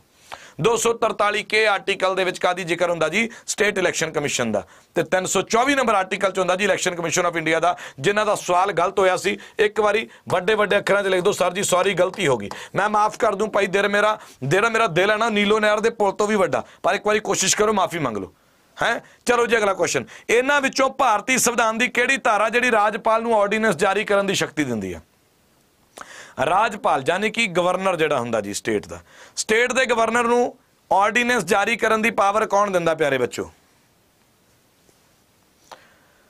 ਵੱਡੇ ਆਏ ਹੈ। ਜੀ ਤਾਂ ਐ ਕਰਦੇ ਹੋ, ਗਲਤ ਕਰਦੇ ਆ ਨਾ। ਜੀ ਤਾਂ ਐ ਕਰਦੇ ਜਿਹੜੇ ਮੁੰਡੇ ਖਾਸ ਤੌਰ ਤੇ, ਕੁੜੀਆਂ ਚਲ ਮੈਂ ਮਾਫ ਕਰ ਦੇਣਾ ਕੁੜੀਆਂ ਭਾਈ ਰੱਬ ਦਾ ਰੂਪ ਹੁੰਦੀਆਂ ਹੈ। ਪੁੱਤ ਵੰਡਾਉਣ ਜ਼ਮੀਨਾਂ ਧੀਆਂ, ਦੁੱਖ ਵੰਡਾਉਂਦੀਆਂ ਨੇ, ਉਹ ਗਾਣਾ ਜਿਹਾ ਮੈਂ ਬੜਾ ਇਨਸਪਾਇਰ ਜਿਹਾ ਹੋਇਆ ਹੋਇਆ ਉਹ ਗਾਣੇ ਤੋਂ। ਚਲੋ ਮੈਂ ਕੁੜੀਆਂ ਦੀ ਇੱਜ਼ਤ ਕਰਦਾ। ਮੁੰਡਿਆਂ ਤਾਂ ਜੀ ਕਰਦਾ, ਕੈਮਰੇ ਚੋਂ ਖਿੱਚ ਲੇ। ਐ ਫੜ ਕੇ ਨਾ, ਇਹਨਾਂ ਨੂੰ ਗੋਡਿਆਂ ਦੇ ਵਿਚਾਲੇ ਦੇ ਲੇ। ਐ ਗੋਡਿਆਂ ਦੇ ਵਿਚਾਲੇ ਦੇ ਕੇ ਨਾ ਫਿਰ ਐ ਕੂਣੀ ਮਾਰੇ ਭਾਈ ਸਿੱਧੀ। ਵੀ ਹੁਣ ਦੇ ਮਾੜਾ ਜਿਹਾ ਗਲਤ ਜਵਾਬ, ਫੇਰ ਤੈਨੂੰ ਦੱਸਦਾ ਮੈਂ ਪਤਾ। ਪੜ੍ਹ ਲਓ ਪੜ੍ਹ ਲਓ, ਸ਼ੇਰੋ ਪੜ੍ਹ ਲਓ। ਇਹਦਾ ਉੱਤਰ ਦੇਖੋ ਕੀ ਆਊਗਾ। ਇਸ ਸਵਾਲ ਦਾ ਜਵਾਬ ਸਾਡੇ ਕੋਲੇ ਕੀ ਆ ਰਿਹਾ ਜੀ? ਆਰਡੀਨੈਂਸ ਜਾਰੀ ਕਰਨ ਦੀ ਪਾਵਰ ਆ ਜੀ ਆਰਟੀਕਲ ਨੰਬਰ 213 ਦੇ ਵਿੱਚ। ਆਰਟੀਕਲ ਨੰਬਰ 213 ਦੇ ਵਿੱਚ, ਪਿਆਰੇ ਬੱਚੋ ਜਿਹੜੀ ਚੀਜ਼ ਰਾਸ਼ਟਰਪਤੀ ਕੋਲੇ ਪਾਵਰ ਆ, ਲਗਭਗ ਸੇਮ ਪਾਵਰਾਂ ਸਟੇਟ ਦੇ ਵਿੱਚ ਕਿਹਦੇ ਕੋਲੇ ਆ ਜੀ? ਗਵਰਨਰ ਦੇ ਕੋਲੇ। ਜਿਹੜੀਆਂ ਪਾਵਰਾਂ ਆਪਣੇ ਕੋਲ ਰਾਸ਼ਟਰਪਤੀ ਦੇ ਕੋਲੇ ਆ, ਲਗਭਗ ਸਟੇਟ ਜਿਵੇਂ ਬੱਚੋ ਪ੍ਰੈਜ਼ੀਡੈਂਟ ਜਿਹੜਾ ਹੈ ਸਾਡੇ ਦੇਸ਼ ਦਾ। ਪ੍ਰੈਜ਼ੀਡੈਂਟ ਕੋਲੇ ਪਾਵਰ ਆ ਜੀ ਆਰਟੀਕਲ ਨੰਬਰ 113 ਦੇ ਵਿੱਚ ਸੌਰੀ 123 ਦੇ ਵਿੱਚ। 123 123 ਨੰਬਰ ਆਰਟੀਕਲ ਦੇ ਤਹਿਤ ਕੀ ਜਾ- ਜਾਰੀ ਕਰ ਸਕਦਾ? ਆਰਡੀਨੈਂਸ ਜਾਰੀ ਕਰ ਸਕਦਾ। ਤੇ ਉਸੇ ਦੀ ਸੇਮ ਕਾਪੀ ਸੇਮ ਕਾਪੀ ਭਾਈ ਪ੍ਰੈਜ਼ੀਡੈਂਟ ਦੀ ਥਾਂ ਤੇ ਗਵਰਨਰ ਸਟੇਟ ਦੇ ਵਿੱਚ 213 ਨੰਬਰ ਦੇ ਤਹਿਤ ਕੀ ਕਰ ਸਕਦਾ? ਆਰਡੀਨੈਂਸ ਜਾਰੀ ਕਰ ਸਕਦਾ ਜੀ। ਅਗਲਾ ਸਵਾਲ ਦੇਖੋ। ਕੁੜੀਓ, ਮੈਂ ਤੁਹਾਡੀ ਸਪੋਰਟ ਕੀਤੀ ਆ, ਭਾਈ ਤੁਸੀਂ ਲਾਈਕ ਨਹੀਂ ਕਰ ਰਹੀਆਂ। ਹੂੰ? ਕੁੜੀਆਂ ਨੇ ਹਾਲ ਤੱਕ ਲਾਈਕ ਨਹੀਂ ਕੀਤਾ। ਮੈਂ ਤੁਹਾਡੀ ਸਪੋਰਟ ਕੀਤੀ ਹੈ। ਕੁੜੀਆਂ ਦੀ ਸਪੋਰਟ ਤਾਂ ਪਹਿਲਾਂ ਹੀ ਬਾਹਲੇ ਜਣੇ ਕਰਦੇ ਆ ਭਾਈ। ਹੈ, ਰਾਜਾ ਰਾਮ ਮੋਹਨ ਰਾਏ, ਔਰਤਾਂ ਦੀ ਸਪੋਰਟ ਕਰਦੇ ਰਹੇ। ਹੈ, ਰਾਜਾ ਰਾਮ ਮੋਹਨ ਰਾਏ ਔਰਤਾਂ ਦੀ ਸਪੋਰਟ ਕਰਦੇ ਰਹੇ। ਡਲਹੌਜ਼ੀ ਵਰਗੇ ਵੀ ਔਰਤਾਂ ਵਾਸਤੇ ਵਧੀਆ ਵਧੀਆ ਕਾਨੂੰਨ ਬਣਾਉਂਦੇ ਰਹੇ ਭਾਈ। ਬਾਅਦ ਚ ਸਰਕਾਰਾਂ ਆਈਆਂ, ਸਰਕਾਰਾਂ ਔਰਤਾਂ ਵਾਸਤੇ ਕੰਮ ਕਰਦੀਆਂ ਰਹੀਆਂ। ਹੈ, ਤੇ ਭਾਈ ਆਪਣੇ ਬਾਬਾ ਬਾਦਲ ਦੀ ਸਰਕਾਰ ਆਈ, ਉਹਨਾਂ ਨੇ ਵੀ ਔਰਤਾਂ ਵਾਸਤੇ ਕੰਮ ਕੀਤਾ। ਬੇਟੀ ਬਚਾਓ, ਬੇਟੀ ਪੜਾਓ ਔਰ ਮੁੰਡੇ, ਤੁਮ ਧਨੀਆ ਲਾਓ, ਪੁਦੀਨਾ ਲਾਓ।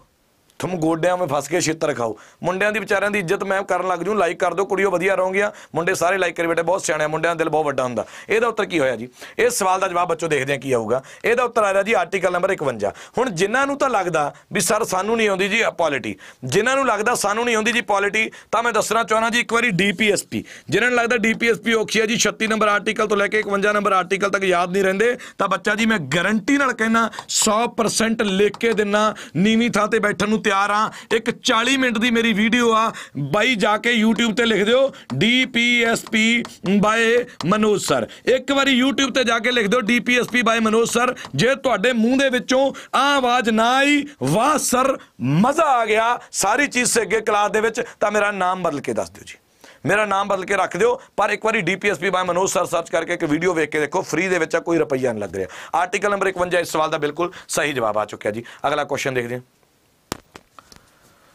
ਚਲੋ ਜੀ, ਅਗਲਾ ਸਵਾਲ ਦੇਖੋ। ਅਗਲਾ ਸਵਾਲ। 1909 ਦਾ ਐਕਟ ਕਹਿੰਦੇ ਕਾਦੇ ਨਾਲ ਜੁੜਿਆ ਹੋਇਆ ਸੀ ਜੀ? 1909 ਦਾ ਐਕਟ ਆ ਜਿਹੜਾ ਪਿਆਰੇ ਬੱਚੋ ਕਾਦੇ ਨਾਲ ਜੁੜਿਆ ਹੋਇਆ ਜੀ? ਦਿਓ ਇਸ ਸਵਾਲ ਦਾ ਜਵਾਬ ਪਿਆਰੇ ਬੱਚੋ। ਚਲੋ।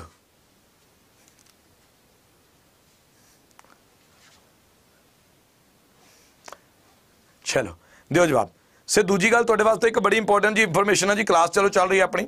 ਜਿਹੜੇ ਬੱਚੇ ਆਉਣ ਵਾਲੇ ਪੇਪਰਾਂ ਦੀ ਤਿਆਰੀ ਕਰ ਰਹੇ ਨਾ ਲਾਈਕ ਉਹਨਾਂ ਨੇ ਸੋਚਿਆ ਵੀ ਪੰਜਾਬ ਪੁਲਿਸ ਕਾਂਸਟੇਬਲ ਸਿਲੈਕਸ਼ਨ ਲੈਣੀ ਹੈ ਕਾਂਸਟੇਬਲ ਦਾ ਟਾਰਗੇਟ ਆ ਤੇ ਕਾਂਸਟੇਬਲ ਦਾ ਸਾਡਾ ਬੈਚ ਇੱਕ 28 ਮਾਰਚ ਨੂੰ ਸ਼ੁਰੂ ਹੋ ਰਿਹਾ। ਪਿੱਛੇ ਦੇ ਵੀ ਸ਼ੁਰੂ ਹੋਏ ਸੀ, ਅੱਗੇ ਵੀ ਜਾ ਕੇ ਸਾਡੇ ਬੈਚ ਸ਼ੁਰੂ ਹੋਣਗੇ। ਇਹ ਡਿਟੇਲਡ ਬੈਚ ਆ, ਕੋਈ ਚਾਹੁੰਦਾ ਫਾਊਂਡੇਸ਼ਨ ਬੈਚ ਚਾਹੀਦਾ ਸਰ ਤੁਹਾਡਾ? ਫਾਊਂਡੇਸ਼ਨ ਬੈਚ ਵੀ ਆਪਣੇ ਪਹਿਲਾਂ ਬੁਨਿਆਦ ਬੈਚ ਸ਼ੁਰੂ ਹੋਇਆ ਸੀ। ਕੋਈ ਚਾਹੁੰਦਾ ਸਰ ਕ੍ਰੈਸ਼ ਕੋਰਸ ਚਾਹੀਦਾ ਹੋਊਗਾ ਪੇਪਰ ਦੇ ਨੇੜੇ ਜਾ ਕੇ? ਕ੍ਰੈਸ਼ ਕੋਰਸ ਵੀ ਸ਼ੁਰੂ ਹੋਣਗੇ ਐਮਸੀਕਿਊ ਬੈਚ ਵੀ ਸ਼ੁਰੂ ਹੋਣਗੇ ਟੈਸਟ ਸੀਰੀਜ਼ਾਂ ਵੀ ਚਾਹੀਦੀਆਂ। ਇਹ ਸਾਰੀਆਂ ਚੀਜ਼ਾਂ ਚਾਹੀਦੀਆਂ ਨਾ, ਜੋ ਹੋਲੀ ਦਾ ਆਫਰ ਚੱਲ ਰਿਹਾ ਬੱਚੋ। ਹੋਲੀ ਦਾ ਆਫਰ ਚੱਲ ਰਿਹਾ। ਡਿਸਕਾਊਂਟ ਕੋਡ ਨੋਟ ਕਰ ਲਓ Y679 ਸਾਡਾ ਇੱਕ ਪੰਜਾਬ ਮਹਾਪੈਕ ਆ, ਜਿਹੜਾ ਵੈਸੇ ਤਾਂ 13999 ਦਾ ਹੁੰਦਾ। ਤੁਸੀਂ Y679 ਲਾਉਂਦੇ ਸੀ, ਉਹ 3219 ਦਾ ਰਹਿ ਜਾਂਦਾ ਸੀ ਇੱਕ ਸਾਲ ਦੇ ਵਾਸਤੇ। ਜੇ ਤੁਸੀਂ ਅੱਜ ਹੋਲੀ ਦੇ ਮੌਕੇ ਤੇ ਰਾਤ 12 ਵਜੇ ਤੋਂ ਪਹਿਲਾਂ ਪਹਿਲਾਂ ਡਿਸਕਾਊਂਟ ਕੋਡ Y679 ਲਾ ਕੇ ਪੰਜਾਬ ਮਹਾਪੈਕ ਲੈ ਲੈਣਾ 3219 ਤੇ ਇੱਕ ਸਾਲ ਦੀ ਥਾਂ ਤੇ 1912 ਰੁਪਏ ਦਾ 2 ਸਾਲਾਂ ਵਾਸਤੇ ਪੰਜਾਬ ਮਹਾਪੈਕ ਮਿਲ ਰਿਹਾ। ਜੇ Y679 ਲਾਉਂਗੇ ਤਾਂ ਮੇਰੀ ਗਰੰਟੀ ਹੈ, ਸਾਰੇ ਟੀਚਰ ਪੰਜਾਬ ਅੱਡਾ ਦੇ ਤੁਹਾਨੂੰ ਗਾਈਡ ਕਰਨਗੇ, ਸਾਰੇ ਟੀਚਰਾਂ ਦੀ ਮੈਂਟੋਰਸ਼ਿਪ ਸਭ ਕੁਝ ਮਿਲੂਗਾ। Y679 ਲਾ ਕੇ ਇਹਨੂੰ ਜੁਆਇਨ ਕਰ ਲਿਓ ਆਫਰ ਅੱਜ ਰਾਤ 12 ਵਜੇ ਤੱਕ ਦੇ ਰਹਿਣ ਦੇ ਚਾਂਸ ਹੈ ਕਿਉਂਕਿ ਹੋਲੀ ਦਾ ਆਫਰ ਹੈ ਜੀ। ਕੱਲ ਦਾ ਨਹੀਂ ਪਤਾ, ਅੱਜ ਰਾਤ 12 ਵਜੇ ਤੱਕ ਦੀ ਮੇਰੀ ਗਾਰੰਟੀ ਹੈ ਡਿਆਰ ਕੀ ਸਿਸਟਮ ਉੱਤਰ ਗਲਤ ਆ ਰਿਹਾ, ਜਿਹੜੇ ਦੇ ਰਹੇ ਆ। ਜਿਹੜੇ ਡਿਆਰ ਕੀ ਸਿਸਟਮ ਉੱਤਰ ਦੇ ਰਹੇ ਆ, ਉਹ ਸਾਰੇ ਦੇ ਸਾਰੇ ਬੱਚੋ ਕੀ ਆ ਜੀ? ਗਲਤ ਆ। ਜਿਹੜਾ ਬੱਚੋ ਸੈਪਰੇਟ ਇਲੈਕਟੋਰੇਟ ਸੀ ਨਾ, ਮੁਸਲਿਮਸ ਦੇ ਵਾਸਤੇ, ਮੁਸਲਿਮਸ ਦੇ ਵਾਸਤੇ ਸੈਪਰੇਟ ਇਲੈਕਟੋਰੇਟ ਜਿਹੜਾ ਸੀ, ਉਹ ਕਹਿੰਦੇ ਇੰਟਰੋਡਿਊਸ ਕੀਤਾ ਗਿਆ ਸੀ, ਪਿਆਰੇ ਬੱਚੋ। ਮਾਰਲੇ ਰਿਫਾਰਮ ਦੇ ਵਿੱਚ, ਜਿਹਨੂੰ ਅਸੀਂ ਕੀ ਕਹਿੰਦੇ ਆ ਐਕਟ ਆਫ 1909 ਇਹਨੂੰ ਇੰਡੀਅਨ ਕੌਂਸਲ ਐਕਟ ਵੀ ਕਹਿ ਦਿੰਦੇ ਆ ਪਿਆਰੇ ਬੱਚੋ ਇਸ ਐਕਟ ਦੇ ਵਿੱਚ ਮੁਸਲਿਮਸ ਨੂੰ ਚੋਣ ਪ੍ਰਣਾਲੀ ਅਲੱਗ ਦਿੱਤੀ ਸੀ ਤੇ ਇੰਡੀਅਨ ਕੌਂਸਲ ਦੇ ਵਿੱਚ ਇੰਡੀਅਨਸ ਦੀਆਂ ਸੀਟਾਂ 16 ਤੋਂ ਵਧਾ ਕੇ 60 ਕਰ ਦਿੱਤੀਆਂ ਸੀ ਜੀ। You are the best teacher sir thank you ਬੱਚੋ ਥੈਂਕ ਯੂ ਜੀ thank you thank you thank you thank you ਜੀ। ਸਰ ਪੀਡੀਐਫ ਕਿੱਥੋਂ ਮਿਲੂ? ਪੀਡੀਐਫ ਮਿਲ ਜੂਗੀ ਜੀ? ਮਿਲ ਜੂਗੀ ਮਿਲ ਜੂਗੀ ਪੀਡੀਐਫ ਮਿਲ ਜੂਗੀ ਟੈਨਸ਼ਨ ਨਾ ਮੰਨੋ। ਕਹਿੰਦੇ ਜੀ Hindustan republic association Hindustan republic association ਦੀ ਸਥਾਪਨਾ ਕੀਤੀ ਗਈ ਸੀ ਕਿ ਕਿਹੜੇ ਸਾਲ ਦੇ ਵਿੱਚ, ਕਿਹੜੀ ਜਗ੍ਹਾ ਦੇ ਉੱਤੇ ਸੌਰੀ ਕਿਹੜੀ ਜਗ੍ਹਾ ਦੇ ਉੱਤੇ ਹਿੰਦੁਸਤਾਨ ਰਿਪਬਲਿਕ ਐਸੋਸੀਏਸ਼ਨ ਦੀ ਵਿੱਚੋਂ ਸਥਾਪਨਾ ਕੀਤੀ ਗਈ ਸੀ, ਦੱਸੋ। ਇਲਾਹਾਬਾਦ ਦੇ ਵਿੱਚ, ਕਾਨਪੁਰ ਦੇ ਵਿੱਚ, ਲਖਨਊ ਦੇ ਵਿੱਚ ਜਾਂ ਨਿਊ ਦਿੱਲੀ ਦੇ ਵਿੱਚ, ਪਿਆਰੇ ਬੱਚੋ ਦੱਸੋ। ਇਹਦਾ ਜਵਾਬ ਕੀ ਹੋਊਗਾ? ਜਾਂ ਉੱਤਰ ਆਊਗਾ ਬੱਚੋ ਸਾਡੇ ਕੋਲ ਕਾਨਪੁਰ ਦੇ ਵਿੱਚ। ਕਾਨਪੁਰ ਦੇ ਵਿੱਚ ਇਹਦੀ ਸਥਾਪਨਾ ਕੀਤੀ ਗਈ ਸੀ 1924 ਦੇ ਵਿੱਚ। 1924 ਦੇ ਵਿੱਚ ਹਿੰਦੁਸਤਾਨ ਰਿਪਬਲਿਕ ਐਸੋਸੀਏਸ਼ਨ ਦੀ ਸਥਾਪਨਾ ਕੀਤੀ ਗਈ। ਇਹਦੇ ਜਿਹੜੇ ਫਾਊਂਡਰ ਸਨ ਚੰਦਰ ਸ਼ੇਖਰ ਆਜ਼ਾਦ ਸਚਿਨ ਸੰਨਿਆਲ ਅਸ਼ਫਾਕ ਉੱਲਾ ਖਾਨ, ਰਾਮ ਪ੍ਰਸਾਦ ਬਿਸਮਿਲ, ਰਾਜਿੰਦਰ ਲਹਿਰੀ, ਕਾਫੀ ਸਾਰੇ ਵੱਡੇ ਵੱਡੇ ਲੀਡਰਸ ਜਿਹੜੇ ਇਹਦੇ ਨਾਲ ਬੱਚੋ ਸੰਬੰਧਿਤ ਸਨ ਸਰ ਸਰ ਬੁੱਕ ਵਾਲੇ ਵੀਡੀਓ ਲੈਕਚਰ ਚਾਹੀਦੇ ਆ ਜੀ। ਜੇ ਉਹ ਚਾਹੀਦੇ ਆ ਬੱਚੋ, ਤਾਂ ਬੁੱਕ ਨੂੰ ਮੰਗਵਾਉਣ ਦੇ ਸਮੇਂ ਕੂਪਨ ਕੋਡ ਜ਼ਰੂਰ ਧਿਆਨ 'ਚ ਰੱਖਿਓ Y679S ਜਦੋਂ ਕਿਸੇ ਨੇ ਬੁੱਕ ਮੰਗਵਾਉਣੀ ਆ, ਤੇ ਨਾਲ S ਲਗਾ ਲਿਓ, ਜਿਹੜਾ ਮਹਾਪੈਕ ਤੇ ਆਫਰ ਚੱਲ ਰਿਹਾ, ਉਹਦੇ ਵਾਸਤੇ Y679 ਇਹ ਮਹਾਪੈਕ ਦੇ ਵਾਸਤੇ ਆ, ਜਾਂ ਕੋਈ ਵੀ ਬੈਚ ਲੈਣ ਦੇ ਵਾਸਤੇ ਆ। ਇਹ ਦੋਵੇਂ ਚੀਜ਼ਾਂ, ਇਹ ਦੋਵੇਂ ਕੋਡ ਮੇਰੀ ਗਾਈਡੈਂਸ ਦੇ ਕੋਡ ਹੋਣਗੇ ਨਾ ਸਕਰੀਨਸ਼ਾਟ ਮਾਰ ਲਓ। ਕਿਤਾਬ ਵਾਸਤੇ Y679S ਮਹਾਪੈਕ ਵਾਸਤੇ Y679 ਸੋ ਬੱਚੋ, ਇਹਦਾ ਉੱਤਰ ਕੀ ਆਊਗਾ ਜੀ? ਸਧਾਰਨ ਬਿੱਲ ਨਾਲ ਸੰਬੰਧਿਤ ਡੈਡਲੌਕ ਨੂੰ ਦੂਰ ਕਰਨ ਲਈ ਸੰਸਦ ਦੇ ਦੋਵਾਂ ਸਦਨਾਂ ਵਿਚਕਾਰ ਸਾਂਝੀ ਬੈਠਕ ਕੌਣ ਸੱਦਾ ਦਿੰਦਾ ਜੀ? ਇਹ ਕੌਣ ਸੱਦਾ ਦਿੰਦਾ? ਬੱਚੋ ਦੇਖੋ, ਪਹਿਲਾਂ ਕੋਈ ਬਿੱਲ ਹੁੰਦਾ, ਉਹ ਲੋਕ ਸਭਾ ਦੇ ਵਿੱਚੋਂ ਪਾਸ ਹੋ ਗਿਆ। ਲੋਕ ਸਭਾ ਦੇ ਵਿੱਚੋਂ ਪਾਸ ਹੋਣ ਤੋਂ ਬਾਅਦ ਉਹ ਕਿੱਥੇ ਚਲੇ ਜਾਂਦਾ ਜੀ? ਰਾਜ ਸਭਾ ਦੇ ਵਿੱਚ ਚਲੇ ਜਾਂਦਾ। ਰਾਜ ਸਭਾ ਨੇ 6 ਮਹੀਨੇ ਆਰਡੀਨਰੀ ਬਿੱਲ ਨੂੰ ਆਪਦੇ ਕੋਲ ਰੱਖਿਆ, ਨਾ ਹਾਂ ਕੀਤੀ, ਨਾ ਨਾ ਕੀਤੀ, ਤੇ ਹੁਣ ਕੀ ਹੋ ਗਿਆ ਜੀ? ਹੁਣ ਡੈਡਲੌਕ ਹੋ ਗਿਆ ਜੀ। ਡੈਡਲੌਕ ਯਾਨੀ ਕਿ ਹੁਣ ਭਾਈ ਜੁਆਇੰਟ ਸੈਸ਼ਨ ਬੈਠੂਗਾ ਜੀ। ਜੁਆਇੰਟ ਸੈਸ਼ਨ ਦਾ ਮਤਲਬ ਜਿੱਥੇ ਲੋਕ ਸਭਾ ਤੇ ਭਾਈ ਰਾਜ ਸਭਾ ਦੇ ਮੈਂਬਰ ਇਕੱਠੇ ਬੈਠਣਗੇ ਆਰਟੀਕਲ ਨੰਬਰ 108 ਦੇ ਵਿੱਚ ਕੀ ਹੁੰਦਾ ਬੱਚੋ? ਜੁਆਇੰਟ ਸੈਸ਼ਨ ਹੁੰਦਾ ਤੇ ਫਿਰ ਇੱਕ ਗੀਤ ਚੱਲੂਗਾ। ਕਿਹੜਾ ਗੀਤ? ਚਲੋ ਬੁਲਾਵਾ ਆਇਆ ਹੈ, ਪ੍ਰੈਜ਼ੀਡੈਂਟ ਨੇ ਬੁਲਾਇਆ ਹੈ। ਜੈ ਰਾਸ਼ਟਰਪਤੀ, ਚਲੋ ਬੁਲਾਵਾ, ਆਇਆ ਹੈ, ਪ੍ਰੈਜ਼ੀਡੈਂਟ ਨੇ ਬੁਲਾਇਆ ਹੈ। ਪ੍ਰੈਜ਼ੀਡੈਂਟ ਸੱਦਾ ਦੇਊਗਾ ਜੀ, ਕਿਹਨੂੰ ਬੱਚੋ? ਜੁਆਇੰਟ ਸੈਸ਼ਨ ਨੂੰ। ਸਿਰਫ ਸੱਦਾ। ਇਹਨੂੰ ਕਈ ਵਾਰੀ ਕੀ ਲਿਖਿਆ ਹੁੰਦਾ? ਕਈ ਵਾਰੀ ਇਹਨੂੰ ਇਨਵਾਈਟ ਵੀ ਲਿਖਿਆ ਹੁੰਦਾ। ਕਈ ਵਾਰੀ ਸੰਮਨ ਲਿਖਿਆ ਹੁੰਦਾ ਵੀ ਸੰਮਨ ਕੌਣ ਭੇਜਦਾ? ਇਹ ਭੇਜਤਾ ਬੱਚੋ ਪ੍ਰੈਜ਼ੀਡੈਂਟ ਨੇ। ਹੁਣ ਲੋਕ ਸਭਾ ਤੇ ਰਾਜ ਸਭਾ ਦੇ ਸਾਰੇ ਮੈਂਬਰ ਆ ਕੇ ਬਹਿ ਗਏ। ਹੁਣ ਉਹਨਾਂ ਦੀ ਪ੍ਰਧਾਨਗੀ ਕੌਣ ਕਰੂਗਾ? ਜੁਆਇੰਟ ਸੈਸ਼ਨ ਦੀ ਪ੍ਰਧਾਨਗੀ ਕੌਣ ਕਰ ਰਿਹਾ ਪਿਆਰੇ ਬੱਚੋ? ਜੁਆਇੰਟ ਸੈਸ਼ਨ ਦੀ ਪ੍ਰਧਾਨਗੀ ਕਰੂਗਾ ਜੀ ਲੋਕ ਸਭਾ ਦਾ ਸਪੀਕਰ ਪਿਆਰੇ ਬੱਚੋ। ਲੋਕ ਸਭਾ ਦਾ ਸਪੀਕਰ। ਵੈਰੀ ਗੁੱਡ ਜੀ, ਉੱਤਰ ਕੀ ਆ ਗਿਆ ਬੱਚੋ? ਇਹ ਆ ਗਿਆ। ਅਗਲਾ ਕੁਐਸਚਨ ਪੱਛਮੀ ਬੰਗਾਲ ਕਿੰਨੇ ਦੇਸ਼ਾਂ ਨਾਲ ਆਪਦੀ ਸਰਹੰਦ ਸਾਂਝੀ ਕਰਦਾ? ਇਹਦਾ ਉੱਤਰ ਬੱਚੋ, ਮੈਨੂੰ ਤੁਸੀਂ ਕੀ ਕਰੋਗੇ? ਹੋਮਵਰਕ ਦੇ ਵਿੱਚ ਦੇ ਕੇ ਜਾਓਗੇ। ਇਹ ਸਵਾਲ ਦਾ ਜਵਾਬ ਮੈਂ ਤੁਹਾਨੂੰ ਨਹੀਂ ਦੇਵਾਂਗਾ ਜੇ ਤੁਹਾਡੇ ਕੋਲ ਨਕਸ਼ਾ ਨਹੀਂ ਲੱਗਿਆ, ਤਾਂ ਤੁਹਾਨੂੰ ਸ਼ਰਮ ਆਉਣੀ ਚਾਹੀਦੀ ਹੈ ਭਾਈ। ਇਸ ਸਵਾਲ ਦਾ ਜਵਾਬ ਮੈਂ ਨਹੀਂ ਦੇਵਾਂਗਾ ਤੁਸੀਂ ਦੱਸੋਗੇ ਮੈਨੂੰ। ਮੈਂ ਦਿਖਾਇਆ ਵੀ ਨਹੀਂ ਕੁਐਸਚਨ ਦਾ ਆਨਸਰ ਚਲੋ। ਕਿਸਨੇ ਕਿਹਾ ਸੀ? ਅਸੀਂ ਸਿੱਖ ਹਾਂ, ਅਸੀਂ ਸਿੱਖ ਜਾਂ ਪੰਜਾਬੀ ਨਹੀਂ। ਸਾਡਾ ਧਰਮ ਦੇਸ਼ ਭਗਤੀ ਹੈ ਜੀ। ਇਹ ਕਿਸ ਦੀ ਸਟੇਟਮੈਂਟ ਹੈ ਪਿਆਰੇ ਬੱਚੋ? ਇਹ ਕਿਸ ਦੀ ਸਟੇਟਮੈਂਟ ਹੈ? ਵੀ ਅਸੀਂ ਸਿੱਖ ਜਾਂ ਪੰਜਾਬੀ ਨਹੀਂ, ਸਾਡਾ ਧਰਮ ਦੇਸ਼ ਭਗਤੀ ਹੈ। ਆਉਣ ਵਾਲੇ ਪੰਜਾਬ ਦੇ 2 ਸਾਲਾਂ ਦੇ ਜਿੰਨੇ ਪੇਪਰ ਹੋਣਗੇ, ਭਾਵੇਂ Punjab police constable sub inspector inspector, head constable ASI, intelligence ਕਿਹੜਾ ਮਰਜ਼ੀ ਪੇਪਰ ਹੋਵੇ ਪੀ ਟ੍ਰਿਪਲ ਦੀ ਕਲਰਕ ਵੀਡੀਓ ਜਿਹੜਾ ਮਰਜ਼ੀ ਹੋਵੇ, ਪੀਐਸ ਟੈਟ ਹੋਵੇ, ਮਾਸਟਰ ਕੇਡਰ ਹੋਵੇ, ਪੰਜਾਬ ਦੇ ਜਿੰਨੇ ਹੀ ਪੇਪਰ ਨੇ ਨਾ, ਉਹਨਾਂ ਸਾਰਿਆਂ ਵਾਸਤੇ ਅੱਜ ਆਫਰ ਚੱਲ ਰਿਹਾ। ਪੰਜਾਬ ਮਹਾਪੈਕ ਆਮ ਦਿਨਾਂ ਚ 3219 ਦਾ ਹੁੰਦਾ ਪਿਆਰੇ ਬੱਚੋ।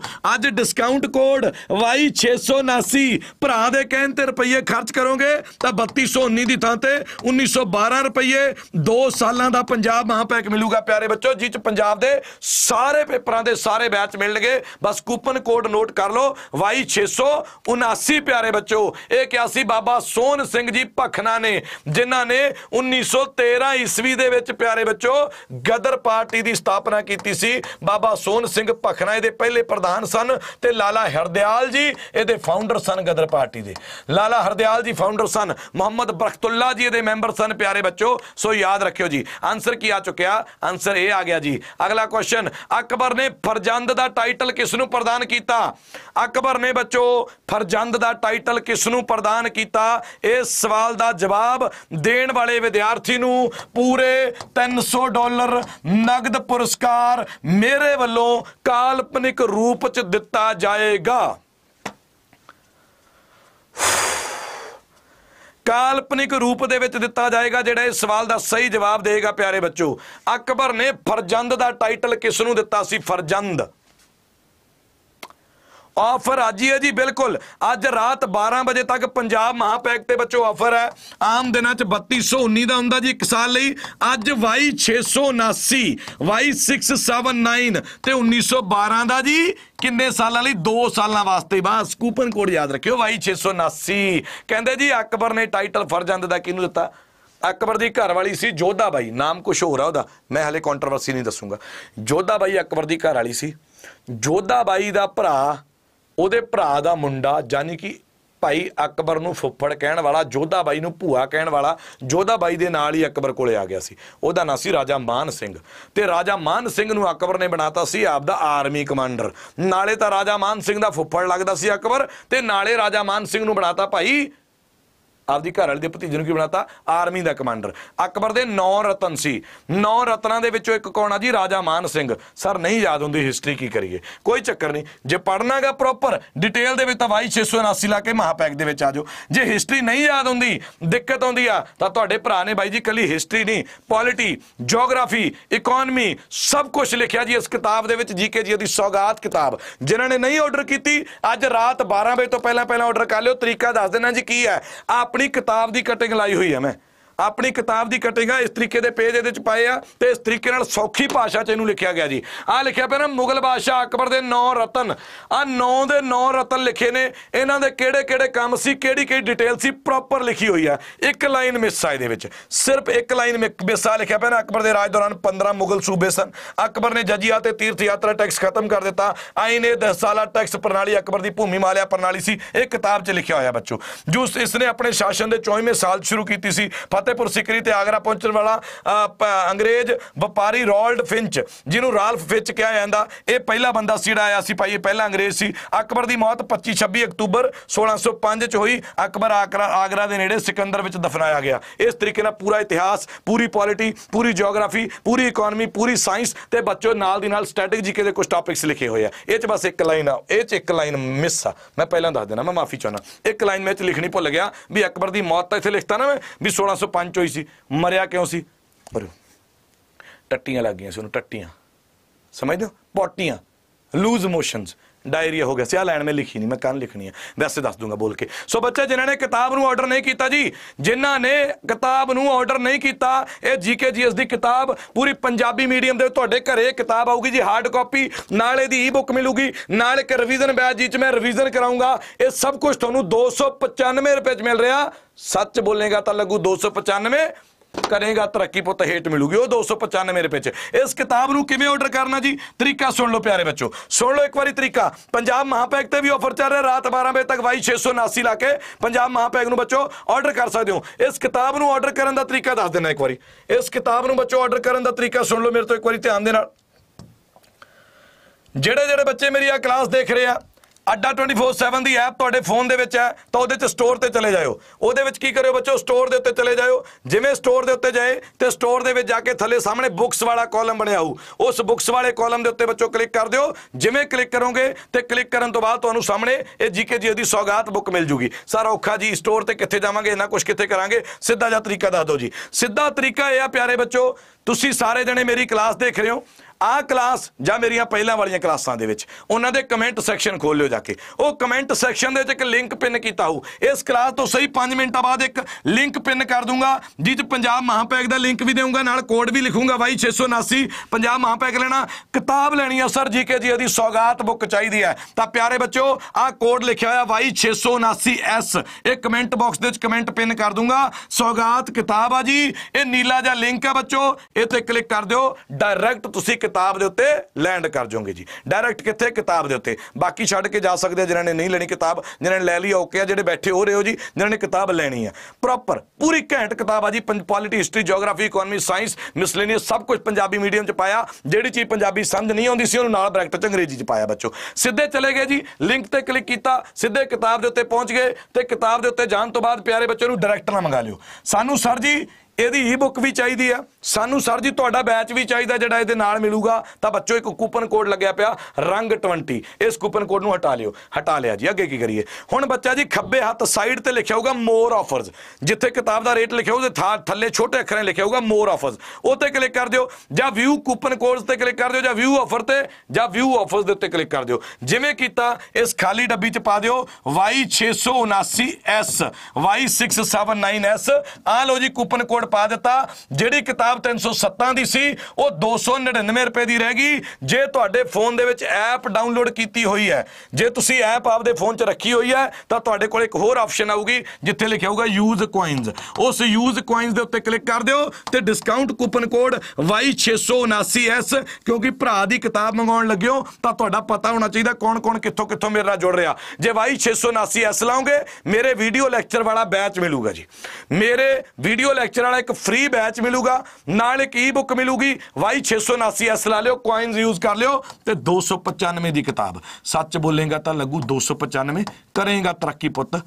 ਹੇਠ ਮਿਲੂਗੀ। ਜੀਕੇ ਜੀਐਸ ਦੀ ਸੌਗਾਤ ਕਿਤਾਬ ਤੁਹਾਡੇ ਘਰੇ ਆਊਗੀ। ਕੈਸ਼ ਔਨ ਡਿਲੀਵਰੀ ਨਹੀਂ ਹੈ। ਪਹਿਲਾਂ ਪੇਮੈਂਟ ਇਹਦੇ ਵਿੱਚ ਕਲਿੱਕ ਕਰੋਗੇ ਐਡਰੈਸ ਭਰੋਗੇ, ਹਫ਼ਤੇ ਦੇ ਅੰਦਰ ਅੰਦਰ, ਹਫ਼ਤੇ 8 ਦਿਨਾਂ ਦੇ ਵਿੱਚ ਵਿੱਚ ਤੁਹਾਡੇ ਕੋਲ ਕਿਤਾਬ ਆ ਜੂਗੀ ਪੇਮੈਂਟ ਕਰਦੇ ਸਾਰ ਕੂਪਨ ਕੋਡ ਵਾਈ 679 ਐਸ ਲਾਇਆ ਹੋਇਆ, ਤਾਂ ਇਹਦੀ ਈ ਬੁੱਕ ਨਾਲ ਦੀ ਨਾਲ ਐਕਟੀਵੇਟ ਹੋ ਜੂਗੀ ਇਹਦਾ ਬੈਚ ਵੀ ਤੁਹਾਡੇ ਕੋਲ ਸਾਹਮਣੇ ਐਕਟੀਵੇਟ ਹੋ ਜੂਗਾ ਪਿਆਰੇ ਬੱਚੋ ਕਰਨਾ ਕੀ ਹੈ ਜੀ?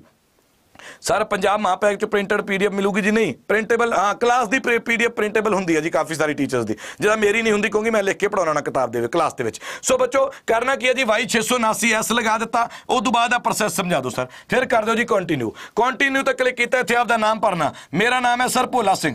ਮੇਰਾ ਨਾਮ ਕੀ ਹੈ ਜੀ? ਭੋਲਾ ਸਿੰਘ। ਮੇਰੇ ਫਾਦਰ ਦਾ ਨਾਮ ਜੋ ਵੀ ਆ, ਭਾਈ ਉਹ ਲਿਖ ਦਿਓ। ਭੋਲਾ ਸਿੰਘ ਸਨ ਆਫ ਕੀਰਤ ਸਿੰਘ, ਜੋ ਵੀ ਹੈ ਜੀ, ਭਾਈ ਉਹ ਲਿਖ ਦਿਓ। ਉਸ ਤੋਂ ਬਾਅਦ ਭਰ ਦਿਓ ਮੋਬਾਈਲ ਨੰਬਰ ਮੋਬਾਈਲ ਨੰਬਰ ਭਰ ਦਿਓ 98765 43210 ਉਹ ਭਾਈ ਆਪਦਾ ਭਰਿਓ। ਕਿਤੇ ਹੋਰ ਹੀ ਕੁਝ ਭਰਨ ਲੱਗ ਜਾਓ। ਇਹ ਮੋਬਾਈਲ ਨੰਬਰ ਭਰਤਾ। ਫਿਰ ਭਰ ਦਿਓ ਜੀ ਈਮੇਲ। ਈਮੇਲ ਕੀ ਹੈ sir? A B C D A B C D E ਤੇ ਨਾਲ ਭਰਤੀ ਜੀ ਅਸੀਂ at the rate. gmail.com gmail.com ਉਹ ਮੇਲ ਭਰਨੀ ਆ ਜਿਹੜੀ ਤੇ ਬੈਚ ਚਲਾਉਣਾ ਜੀ। ਉਹ ਤੋਂ ਬਾਅਦ ਭਰਤਾ ਪਿੰਨ ਕੋਡ। ਪਿੰਨ ਕੋਡ ਕੀ ਆ ਜੀ? 151505 ਜਿਵੇਂ ਸਾਡਾ ਮਾਨਸਾ ਦਾ ਜੀ। 151505 ਜਾਂ 151508 ਉਹ ਭਰ ਦਿਓ। ਉਹ ਤੋਂ ਬਾਅਦ ਤੁਹਾਡਾ ਹਾਊਸ ਨੰਬਰ ਕੀ ਆ ਜੀ? ਤੁਹਾਡਾ ਭਾਈ ਗਲੀ ਗੁਲੀ ਗਲੀ ਮਹੱਲਾ ਕਿਹੜਾ? ਤੁਹਾਡਾ ਲੈਂਡਮਾਰਕ ਲੈਂਡਮਾਰਕ ਘਰ ਦੇ ਨੇੜੇ ਕੀ ਆ ਜੀ? ਗੁਰਦੁਆਰਾ ਸਾਹਿਬ ਵਾਟਰ ਬਾਕਸ ਕੋਈ ਸਕੂਲ ਕੋਈ ਪੱਪੂ ਦੀ ਦੁਕਾਨ, ਜੋ ਵੀ ਆ ਭਾਈ ਉਹ ਭਰ ਦਿਓ। ਆ ਸਭ ਕੁਝ ਭਰਨ ਤੋਂ ਬਾਅਦ ਕੀ ਕਰ ਦਿਓ ਜੀ? ਕੰਟੀਨਿਊ ਤੇ ਕਲਿੱਕ ਕਰ ਦਿਓ। ਬੱਚੇ ਕੀ ਕਰਦੇ ਇੱਥੇ ਉਲਝ ਜਾਂਦੇ ਆ। ਮੈਨੂੰ ਅੱਜ ਚਾਰ ਸਕਰੀਨਸ਼ਾਟ ਸਵੇਰ ਦੇ ਆ ਚੁੱਕੇ ਆ। ਸਰ ਜੀ ਆ ਲਾਲ ਜਿਹੇ ਅੱਖਰਾਂ 'ਚ ਐ ਕਹਿ ਰਿਹਾ, ਕਹਿੰਦਾ ਜੀ incorrect address might result in book not getting ਇਹ ਐ ਨਹੀਂ ਕਹਿ ਰਿਹਾ ਭਾਈ ਤੁਹਾਡੇ ਘਰੇ ਕਿਤਾਬ ਨਹੀਂ ਆਉਂਦੀ। ਇਹ ਐ ਕਹਿ ਰਿਹਾ, ਆਪਦਾ ਐਡਰੈਸ ਚੈੱਕ ਕਰ ਲਓ, ਜੇ ਓਕੇ ਆ ਤਾਂ ਕਨਫਰਮ ਕਰ ਦਿਓ, ਨਹੀਂ ਆ ਤਾਂ ਐਡਿਟ ਕਰ ਲਓ। ਸਰ ਕਨਫਰਮ ਕਰ ਦਿਓ ਜੀ। ਕਨਫਰਮ ਕੀਤਾ ਪੇਮੈਂਟਸ ਦੇ ਆਪਸ਼ਨ ਆ ਚੁੱਕੇ ਆ ਜੀ। ਤੁਹਾਡੇ ਫੋਨ 'ਚ ਯੂਪੀਆਈ ਯਾਨੀ ਗੂਗਲ ਪੇ ਫੋਨ ਪੇ ਵਗੈਰਾ ਚੱਲਦਾ ਤਾਂ ਯੂਪੀਆਈ ਤੇ ਕਲਿੱਕ ਕਰ ਦਿਓ। ਨਹੀਂ ਚੱਲਦਾ ਘਰੇ, ਤੁਹਾਡੇ ਫੋਨ 'ਚ ਫੋਨ ਪੇ ਗੂਗਲ ਪੇ ਨਹੀਂ ਹੈ, ਤਾਂ ਭਾਈ ਭਾਪੇ ਵਾਲਿਆ, ਭਾਪੇ ਵਾਲਾ ਏਟੀਐਮ ਕਾਰਡ ਫੜ ਲਿਓ, ਇੱਥੇ ਡੈਬਿਟ ਕਾਰਡ ਤੇ ਕਲਿੱਕ ਕਰਕੇ ਏਟੀਐਮ ਕਾਰਡ ਨਾਲ ਪੇਮੈਂਟ ਕਰ ਲਿਓ। ਜੋ ਤੁਹਾਡੇ ਕੋਲੇ ਆਪਸ਼ਨ ਹੈ, ਉਹਦਾਂ ਤੁਸੀਂ ਪੇਮੈਂਟ ਕਰ ਸਕਦੇ ਹੋ। ਜੇ ਤੁਹਾਡੇ ਕੋਲੇ ਕੁਝ ਵੀ ਨਹੀਂ ਚੱਲਦਾ ਆਪਦੇ ਹਸਬੰਡ ਦੇ ਫੋਨ ਦੇ ਵਿੱਚ, ਆਪਦੇ ਭਰਾ ਦੇ ਫੋਨ ਦੇ ਵਿੱਚ ਅੱਡਾ 24/7 ਦੀ ਆਪ ਦੀ ਆਈਡੀ ਖੋਲ ਲਿਓ। ਉਹਨਾਂ ਦੇ ਫੋਨ 'ਚ ਆਪਦੀ ਐਪ ਡਾਊਨਲੋਡ ਕਰਕੇ ਆਪਦੇ ਨੰਬਰ ਨਾਲ ਆਈਡੀ ਖੋਲ ਲਿਓ। ਉਹਨਾਂ ਦੇ ਫੋਨ 'ਚੋਂ ਪੇਮੈਂਟ ਕਰਕੇ ਕਿਤਾਬ ਮੰਗਾ ਲਿਓ। ਉੱਥੋਂ ਆਈਡੀ ਲੌਗ ਆਊਟ ਕਰਕੇ ਆਪਦੇ ਕੋਲੇ ਖੋਲ ਲਿਓ। ਬਸ ਜੋ ਮਰਜ਼ੀ ਕਰ ਲਿਓ। ਬਸ ਇੱਕ ਯਾਦ ਰੱਖਿਓ ਜੀ ਲਿੰਕ ਮੈਂ ਕਮੈਂਟਾਂ 'ਚ ਕਿਤਾਬ ਦਾ ਦੇ ਦੂੰਗਾ। ਬਸ ਕੂਪਨ ਕੋਡ ਯਾਦ ਰੱਖਿਓ। Y679S Y679S ਇਹਦਾ ਮਤਲਬ ਇਹ ਆ ਜੀ, ਜਿੰਨੀ ਜਿਹੜੀ ਇਹ ਕਿਤਾਬ ਹੋਊਗੀ, ਇਹਦੇ ਨਾਲ ਵੀਡੀਓ ਲੈਕਚਰ ਦਾ ਇੱਕ ਮੇਰਾ ਬੈਚ ਤੇ ਪਲੱਸ ਇਸੇ ਕਿਤਾਬ ਦੀ ਬੱਚੋ ਈ ਬੁੱਕ ਮਿਲ ਜੂਗੀ ਜੀ। ਇਹ ਦੋਵੇਂ ਚੀਜ਼ਾਂ ਤੁਹਾਨੂੰ ਮਿਲਣਗੀਆਂ ਫ੍ਰੀ ਆਫ ਕਾਸਟ 295 ਰੁਪਏ ਚ ਇੱਕ ਕਿਤਾਬ ਘਰੇ ਆ ਰਹੀ ਆ, ਇੱਕ ਈ ਬੁੱਕ ਮਿਲ ਰਹੀ ਆ, ਇੱਕ ਵੀਡੀਓ ਲੈਕਚਰ ਦਾ ਬੈਚ ਮਿਲ ਰਿਹਾ। Y679S ਰਾਮ ਕੀ ਚਿੜੀਆ, ਰਾਮ ਕਾ ਖੇਤ। ਖਾਓ ਚਿੜੀਆ ਭਰ ਪੇਟ। ਖਾਓ ਚਿੜੀਆ ਭਰ ਪੇਟ। ਇਸ ਕਿਤਾਬ ਨੂੰ ਬੱਚੋ ਆਰਡਰ ਕਰ ਲਿਓ। ਇਹ ਤੁਹਾਡੇ ਸਾਰਿਆਂ ਦੇ ਵਾਸਤੇ ਜੀਕੇ ਜੀ ਦੀ ਸੌਗਾਤ, ਇਹਦਾ ਨਾਮ ਹੈ, ਪਰ ਇਹ ਨੌਕਰੀ ਦੀ ਸੌਗਾਤ ਬਣ ਕੇ ਤੁਹਾਡੇ ਘਰੇ ਆਊਗੀ। ਇਸ ਚੀਜ਼ ਦੀ ਗਾਰੰਟੀ ਮੈਂ ਤੁਹਾਨੂੰ ਦਿੰਦਾ। ਸਰ ਪੀਡੀਐਫ ਕਿੱਥੇ ਮਿਲੂਗੀ ਜੀ? ਕਿਹਦੀ ਕਲਾਸ ਦੀ ਪੁੱਛ ਰਹੇ ਹੋ ਤਾਂ ਭਾਈ ਆਪਣੇ ਗਰੁੱਪ 'ਚ ਮਿਲ ਜੂਗੀ। ਜੇ ਤੁਸੀਂ ਪੁੱਛ ਰਹੇ ਹੋ ਇਸ ਕਿਤਾਬ ਦੀ ਜਿਹੜੀ ਈ-ਬੁੱਕ ਆ, ਉਹ ਤੁਹਾਨੂੰ ਤੁਹਾਡੀ ਐਪਲੀਕੇਸ਼ਨ ਤੇ ਮਿਲੂਗੀ। ਜੇ discount coupon code Y679 S ਲਾਇਆ ਹੋਇਆ ਜੀ। ਸੋ ਬੱਚੋ, ਕਰਨਾ ਕਿ? 6 ਤੁਹਾਡੀ ਆਨਲਾਈਨ ਕਲਾਸ ਮਿਲੇਗੀ। ਹਾਂ, ਜੇ 6 ਬੁక్స్ ਦਾ ਕੰਬੋ ਆਰਡਰ ਕਰੋਗੇ, ਪਰ ਕੂਪਨ ਕੋਡ ਵਾਈ 679 ਐਸ ਲਾ ਲਿਓ, ਸਾਰੀਆਂ ਕਲਾਸਾਂ ਮਿਲ ਜਾਣਗੀਆਂ ਕੰਬੋ ਵੀ ਆਰਡਰ ਕਰ ਦਿਓ ਤਾਂ। ਸੌਗਾਤ ਬੁੱਕ ਕਬ ਤੱਕ ਡਿਸਪੈਚ ਹੋਗੀ? 21 ਮਾਰਚ ਕੋ ਆਰਡਰ ਉਹ 21 ਦਾ ਮਾਮਾ ਲਾਂਚ ਹੀ ਨਹੀਂ ਹੋਈ ਸੀ। 22 ਮਾਰਚ ਨੂੰ ਲਾਂਚ ਹੋਈ ਸੀ। ਸੋ ਇਹਦਾ ਨਾ ਡਿਸਪੈਚ ਵਾਲੀ ਆਈਡੀ ਤੁਹਾਡੇ ਕੋਲ ਲਿਖੀ ਹੁੰਦੀ ਹੈ ਡਿਸਪੈਚ ਦੀ ਡੇਟ ਉਹਨੂੰ ਚੈੱਕ ਕਰ ਲਿਓ ਇੱਕ ਵਾਰੀ। ਓਕੇ ਆ ਜੀ, ਕੋਈ ਡਾਊਟ ਕੋਈ ਦਿੱਕਤ, ਕੋਈ ਪਰੇਸ਼ਾਨੀ ਹੋਵੇ ਦੱਸ ਦਿਓ ਜੀ। ਬਾਕੀ ਆ ਕਿਤਾਬ ਮੰਗਵਾ ਲਿਓ। ਇਹ ਤੁਹਾਡੇ ਸਾਰਿਆਂ ਦੇ ਲਈ ਤਿਆਰ ਕੀਤੀ ਗਈ ਹੈ। ਸੋ ਬਹੁਤ ਸ਼ਿੱਦਤ ਦੇ ਨਾਲ ਇੱਕ ਇੱਕ ਅੱਖਰ ਦੇ ਨਾਲ ਸਮਾਂ ਬਿਤਾਇਆ। ਇਹਦੀ ਜੋ ਤੁਸੀਂ ਪਹਿਲੇ ਆਹ ਕਿਤਾਬ ਤੁਹਾਡੇ ਕੋਲ ਆਉਗੀ ਨਾ ਡਿਕਲੇਰੇਸ਼ਨ ਪੜਿਓ ਮੇਰੇ ਦਿਲ ਦੇ ਉਹਦੇ ਚ ਹਾਵ ਭਾਵ ਲਿਖ ਕੇ ਭੇਜਿਆ, ਮੈਂ ਪਹਿਲੇ ਪੇਜ ਦੇ, ਦੂਜੇ ਪੇਜ ਦੇ ਉੱਤੇ। ਬੈਕ ਸਾਈਡ ਦੇਖੋਗੇ ਨਾ, ਦਿਲ ਦੇ ਹਾਵ ਭਾਵ ਲਿਖ ਕੇ ਭੇਜਿਆ। ਪਰਮਾਤਮਾ ਤੁਹਾਨੂੰ ਤਰੱਕੀ ਦੇਵੇ, ਯਾਰ ਵਧੀਆ ਪੜਿਓ ਉੱਤੇ ਗੁਰਬਾਣੀ ਦੀਆਂ ਕੁਝ ਇੱਕ ਸਤਰ ਵੀ ਲਿਖੀ ਹੋਈ ਹੈ ਆਪਾਂ। ਸਾਹਿਬ ਹੱਥ ਵਡਿਆਈਆਂ, ਜਿਸ ਭਾਏ ਤਿਸ ਦੇ ਸੋ ਵਧੀਆ ਤਰੀਕੇ ਨਾਲ ਮਿਹਨਤ ਕਰੋ। ਇਹ ਕਿਤਾਬ ਤੁਹਾਡੇ ਸਾਰਿਆਂ ਦੇ ਵਾਸਤੇ ਨੌਕਰੀ ਦੀ ਸੌਗਾਤ ਬਣ ਕੇ ਆਊਗੀ। ਇਸ ਚੀਜ਼ ਦੀ ਮੈਂ ਤੁਹਾਡੇ ਨਾਲ ਵਾਅਦਾ ਕਰਦਾ ਹਾਂ। ਕੋਈ ਦਿੱਕਤ ਹੋਵੇ, ਕੋਈ ਪਰੇਸ਼ਾਨੀ ਹੋਵੇ, ਤਾਂ ਮੈਨੂੰ ਜਦੋਂ ਮਰਜ਼ੀ ਮੈਸੇਜ ਕਰ ਲਿਓ, ਜਦੋਂ ਮਰਜ਼ੀ ਮੈਨੂੰ ਕਾਲ ਕਰ ਲਿਓ, ਮੈਂ ਤੁਹਾਡੇ ਨਾਲ ਹਾਂ। ਸੋ ਸਰ ਜੀ, ਸੌਗਾਤ ਐਂਡ ਸੂਰਮਾ ਦੋ ਆਰਡਰ ਕਰ ਤਿੰਨ ਆਰਡਰ ਕਰਨੀਆਂ ਸੀ ਨਹੀਂ ਬੱਚਾ ਐਦਾਂ ਨਹੀਂ ਹੁੰਦਾ। ਦੇਖੋ, ਤੁਸੀਂ ਆਪਦੀ ਮਰਜ਼ੀ ਨਾਲ ਕੰਬੋ ਲੱਭਦੇ ਹੋ, ਉਵੇਂ ਨਹੀਂ ਹੁੰਦਾ ਵੀ ਇੱਕ ਮੈਂ ਸੌਗਾਤ ਚਾਹੀਦੀ, ਇੱਕ ਸੂਰਮਾ ਚਾਹੀਦੀ, ਇੱਕ ਪੰਜਾਬੀ ਕਿਵੇਂ ਕੰਬੋ ਨਹੀਂ ਬਣੇ ਹੋਏ? ਕੰਬੋ ਜਾਂ ਤਾਂ 6 ਦਾ ਬਣਿਆ ਹੋਇਆ ਜਾਂ 5 ਦਾ ਬਣਿਆ ਹੋਇਆ ਜਾਂ 7 ਦਾ ਬਣਿਆ ਹੋਇਆ। ਜੇ ਕੰਬੋ ਨਹੀਂ ਲੋਟ ਆ ਰਿਹਾ, ਤੁਹਾਡੇ ਹਿਸਾਬ ਨਾਲ ਕੰਬੋ ਨਹੀਂ ਹੈ। ਤਾਂ ਅੱਡੋ ਅੱਡ ਆਰਡਰ ਕਰ ਲਓ, ਗੱਲ ਹੀ ਖਤਮ। 3 ਮਿੰਟ ਦਾ 4 ਮਿੰਟ ਦਾ ਸਮਾਂ ਲੱਗਦਾ। ਇੱਕ ਕਿਤਾਬ ਆਰਡਰ ਕਰਨ ਤੇ 1 ਮਿੰਟ ਦਾ ਸਮਾਂ ਲੱਗਦਾ, ਐਡਰੈਸ ਆਪਦਾ ਭਰਨਾ। ਕੂਪਨ ਕੋਡ Y679 ਐਸ ਸਾਰੀਆਂ ਕਿਤਾਬਾਂ ਵਾਸਤੇ ਲਾਉਣਾ। ਅੱਡ ਅੱਡ ਮੰਗਾ ਲਓ, ਠੀਕ ਹੈ? ਸੋ ਸਰ ਆਰਡਰ ਟਰੈਕ ਕਿਵੇਂ ਕਰੀਏ? ਜਿਵੇਂ ਤੁਸੀਂ ਕਿਤਾਬ ਮੰਗਾ ਲਓਗੇ, ਤੁਹਾਡੇ ਕੋਲ ਟਰੈਕਿੰਗ ਆਈਡੀ ਆ ਜਾਊਗੀ। ਬਸ ਇਹ ਟਰੈਕ ਕਰਨ ਦੀ ਲੋੜ ਨਹੀਂ, ਹਫਤਾ 8 ਦਿਨ ਵੇਟ ਕਰ ਲਿਓ ਮੈਕਸਿਮਮ ਕਹਿ ਰਿਹਾ, ਕਿਤਾਬ ਤੁਹਾਡੇ ਘਰੇ ਬਾਹਰ ਗਿਆ ਹੀ ਖੜੀ ਹੋਊਗੀ। ਨੰਬਰ ਉਹ ਪਾਇਓ ਜਿਹੜਾ ਤੁਸੀਂ ਚੱਕ ਸਕਦੇ ਹੋ। ਬਾਕੀ ਅੱਜ ਦੀ ਕਲਾਸ ਦੇ ਵਿੱਚ ਇੰਨਾ ਹੀ ਹੈ ਬੱਚੋ। ਸੋ ਪਰਮਾਤਮਾ ਤੁਹਾਨੂੰ ਤਰੱਕੀਆਂ ਦੇਵੇ, ਦਿਨ ਦੁਗਣੀ, ਰਾਤ ਹਜ਼ਾਰ ਗੁਣੀ ਤਰੱਕੀ ਕਰੋ। ਆਉਣ ਵਾਲਾ ਸਮਾਂ ਤੁਹਾਡੇ ਸਾਰਿਆਂ ਦੇ ਲਈ ਬਿਹਤਰ ਹੋਵੇ। ਜੀਕੇ ਜੀ ਦੀ ਸੌਗਾਤ ਬੁੱਕ ਉਹ ਮੰਗਾਉਣੀ ਹੈ ਜਾਂ ਪੰਜਾਬ ਮਹਾਪੈਕ ਲੈਣਾ, ਤਾਂ ਕੂਪਨ ਕੋਡ ਤੁਹਾਨੂੰ ਮੈਂ ਦੱਸ ਦਿੱਤੇ ਆ। ਤੇ ਬੱਚੋ ਆਹ ਲਿੰਕ ਜਿਹੜੇ ਇਸੇ ਕਲਾਸ ਦੇ ਨੀਚੇ ਕਮੈਂਟਾਂ 'ਚ ਲੱਗ ਜਾਣਗੇ। ਪੰਜਾਬ ਮਹਾਪੈਕ ਦਾ ਲਿੰਕ ਵੀ ਹੈ ਤੇ ਨਾਲ ਜੀਕੇ ਜੀ ਦੀ ਸੌਗਾਤ ਕਿਤਾਬ ਦਾ ਵੀ ਬੱਚੋ। ਲਿੰਕ ਆ। ਸੋ ਯਾਦ ਰੱਖਿਓ ਜੀ, ਕੂਪਨ ਕੋਡ ਜਦੋਂ ਵੀ ਕਿਤਾਬ ਮੰਗਾਉਣੀ ਆ, ਜਦੋਂ ਵੀ ਕਿਤਾਬ ਮੰਗਾਉਣੀ ਆ, ਮੈਂ ਇੱਕੋ ਚੀਜ਼ ਦੀ ਗੱਲ ਤਾਂ ਕਰ ਰਿਹਾ ਵੀ ਤੁਹਾਨੂੰ ਦਿੱਕਤ ਨਾ ਆਵੇ। ਜੇ ਮੰਗਾਉਣੀ ਆ ਜੀ ਕੋਈ ਕਿਤਾਬ ਜਾਂ ਕੋਈ ਕੰਬੋ ਮੰਗਾਉਣਾ ਹੈ, ਤਾਂ Y679 ਤੇ S Y679 ਕਿਤਾਬ ਦੇ ਵਾਸਤੇ ਜੇ ਲੈਣਾ ਹੈ ਬੱਚੋ ਮਹਾਪੈਕ। ਪੰਜਾਬ ਦਾ ਲੈਣਾ ਜੀ ਮਹਾਪੈਕ ਜਿੱਚ ਸਾਰੇ ਬੈਚ ਮਿਲ ਜਾਣ, ਤਾਂ Y679 ਫਿਰ S ਨਾਲ ਆਇਓ ਮਹਾਪੈਕ ਦੇ ਵਾਸਤੇ। ਉਲਝਣਾ ਨਹੀਂ ਹੈ ਸਕਰੀਨਸ਼ਾਟ ਮਾਰ ਲਓ, ਬਹੁਤ ਸੌਖਾ ਕੰਮ ਆ ਬੱਚੋ। ਸੋ ਬਾਕੀ ਤੁਹਾਡਾ ਭਰਾ ਤੁਹਾਡੇ ਲਈ ਹਾਜ਼ਰ ਆ। ਅੱਧੀ ਰਾਤ ਨੂੰ ਬੋਲ ਮਾਰ ਲਿਓ ਭਾਈ। ਤਿਆਰ ਖੜੇ ਆ ਤੁਹਾਡੇ ਵਾਸਤੇ ਜਿੱਥੇ ਵੀ ਲੋੜ ਪਈ। ਸੋ ਬਾਕੀ ਅੱਜ ਦੀ ਕਲਾਸ ਚ ਇੰਨਾ ਪਰਮਾਤਮਾ ਤੁਹਾਨੂੰ ਤਰੱਕੀਆਂ ਬਖਸ਼ੇ। ਕੱਲ ਦੀ ਕਲਾਸ ਦੇ ਵਿੱਚ ਫਿਰ ਮਿਲਦੇ ਆ ਸ਼ਾਮ ਨੂੰ 5 ਵਜੇ ਤੱਕ ਲਈ ਸਭ ਨੂੰ ਸਤਿ ਸ਼੍ਰੀ ਅਕਾਲ। Bye bye take care bye bye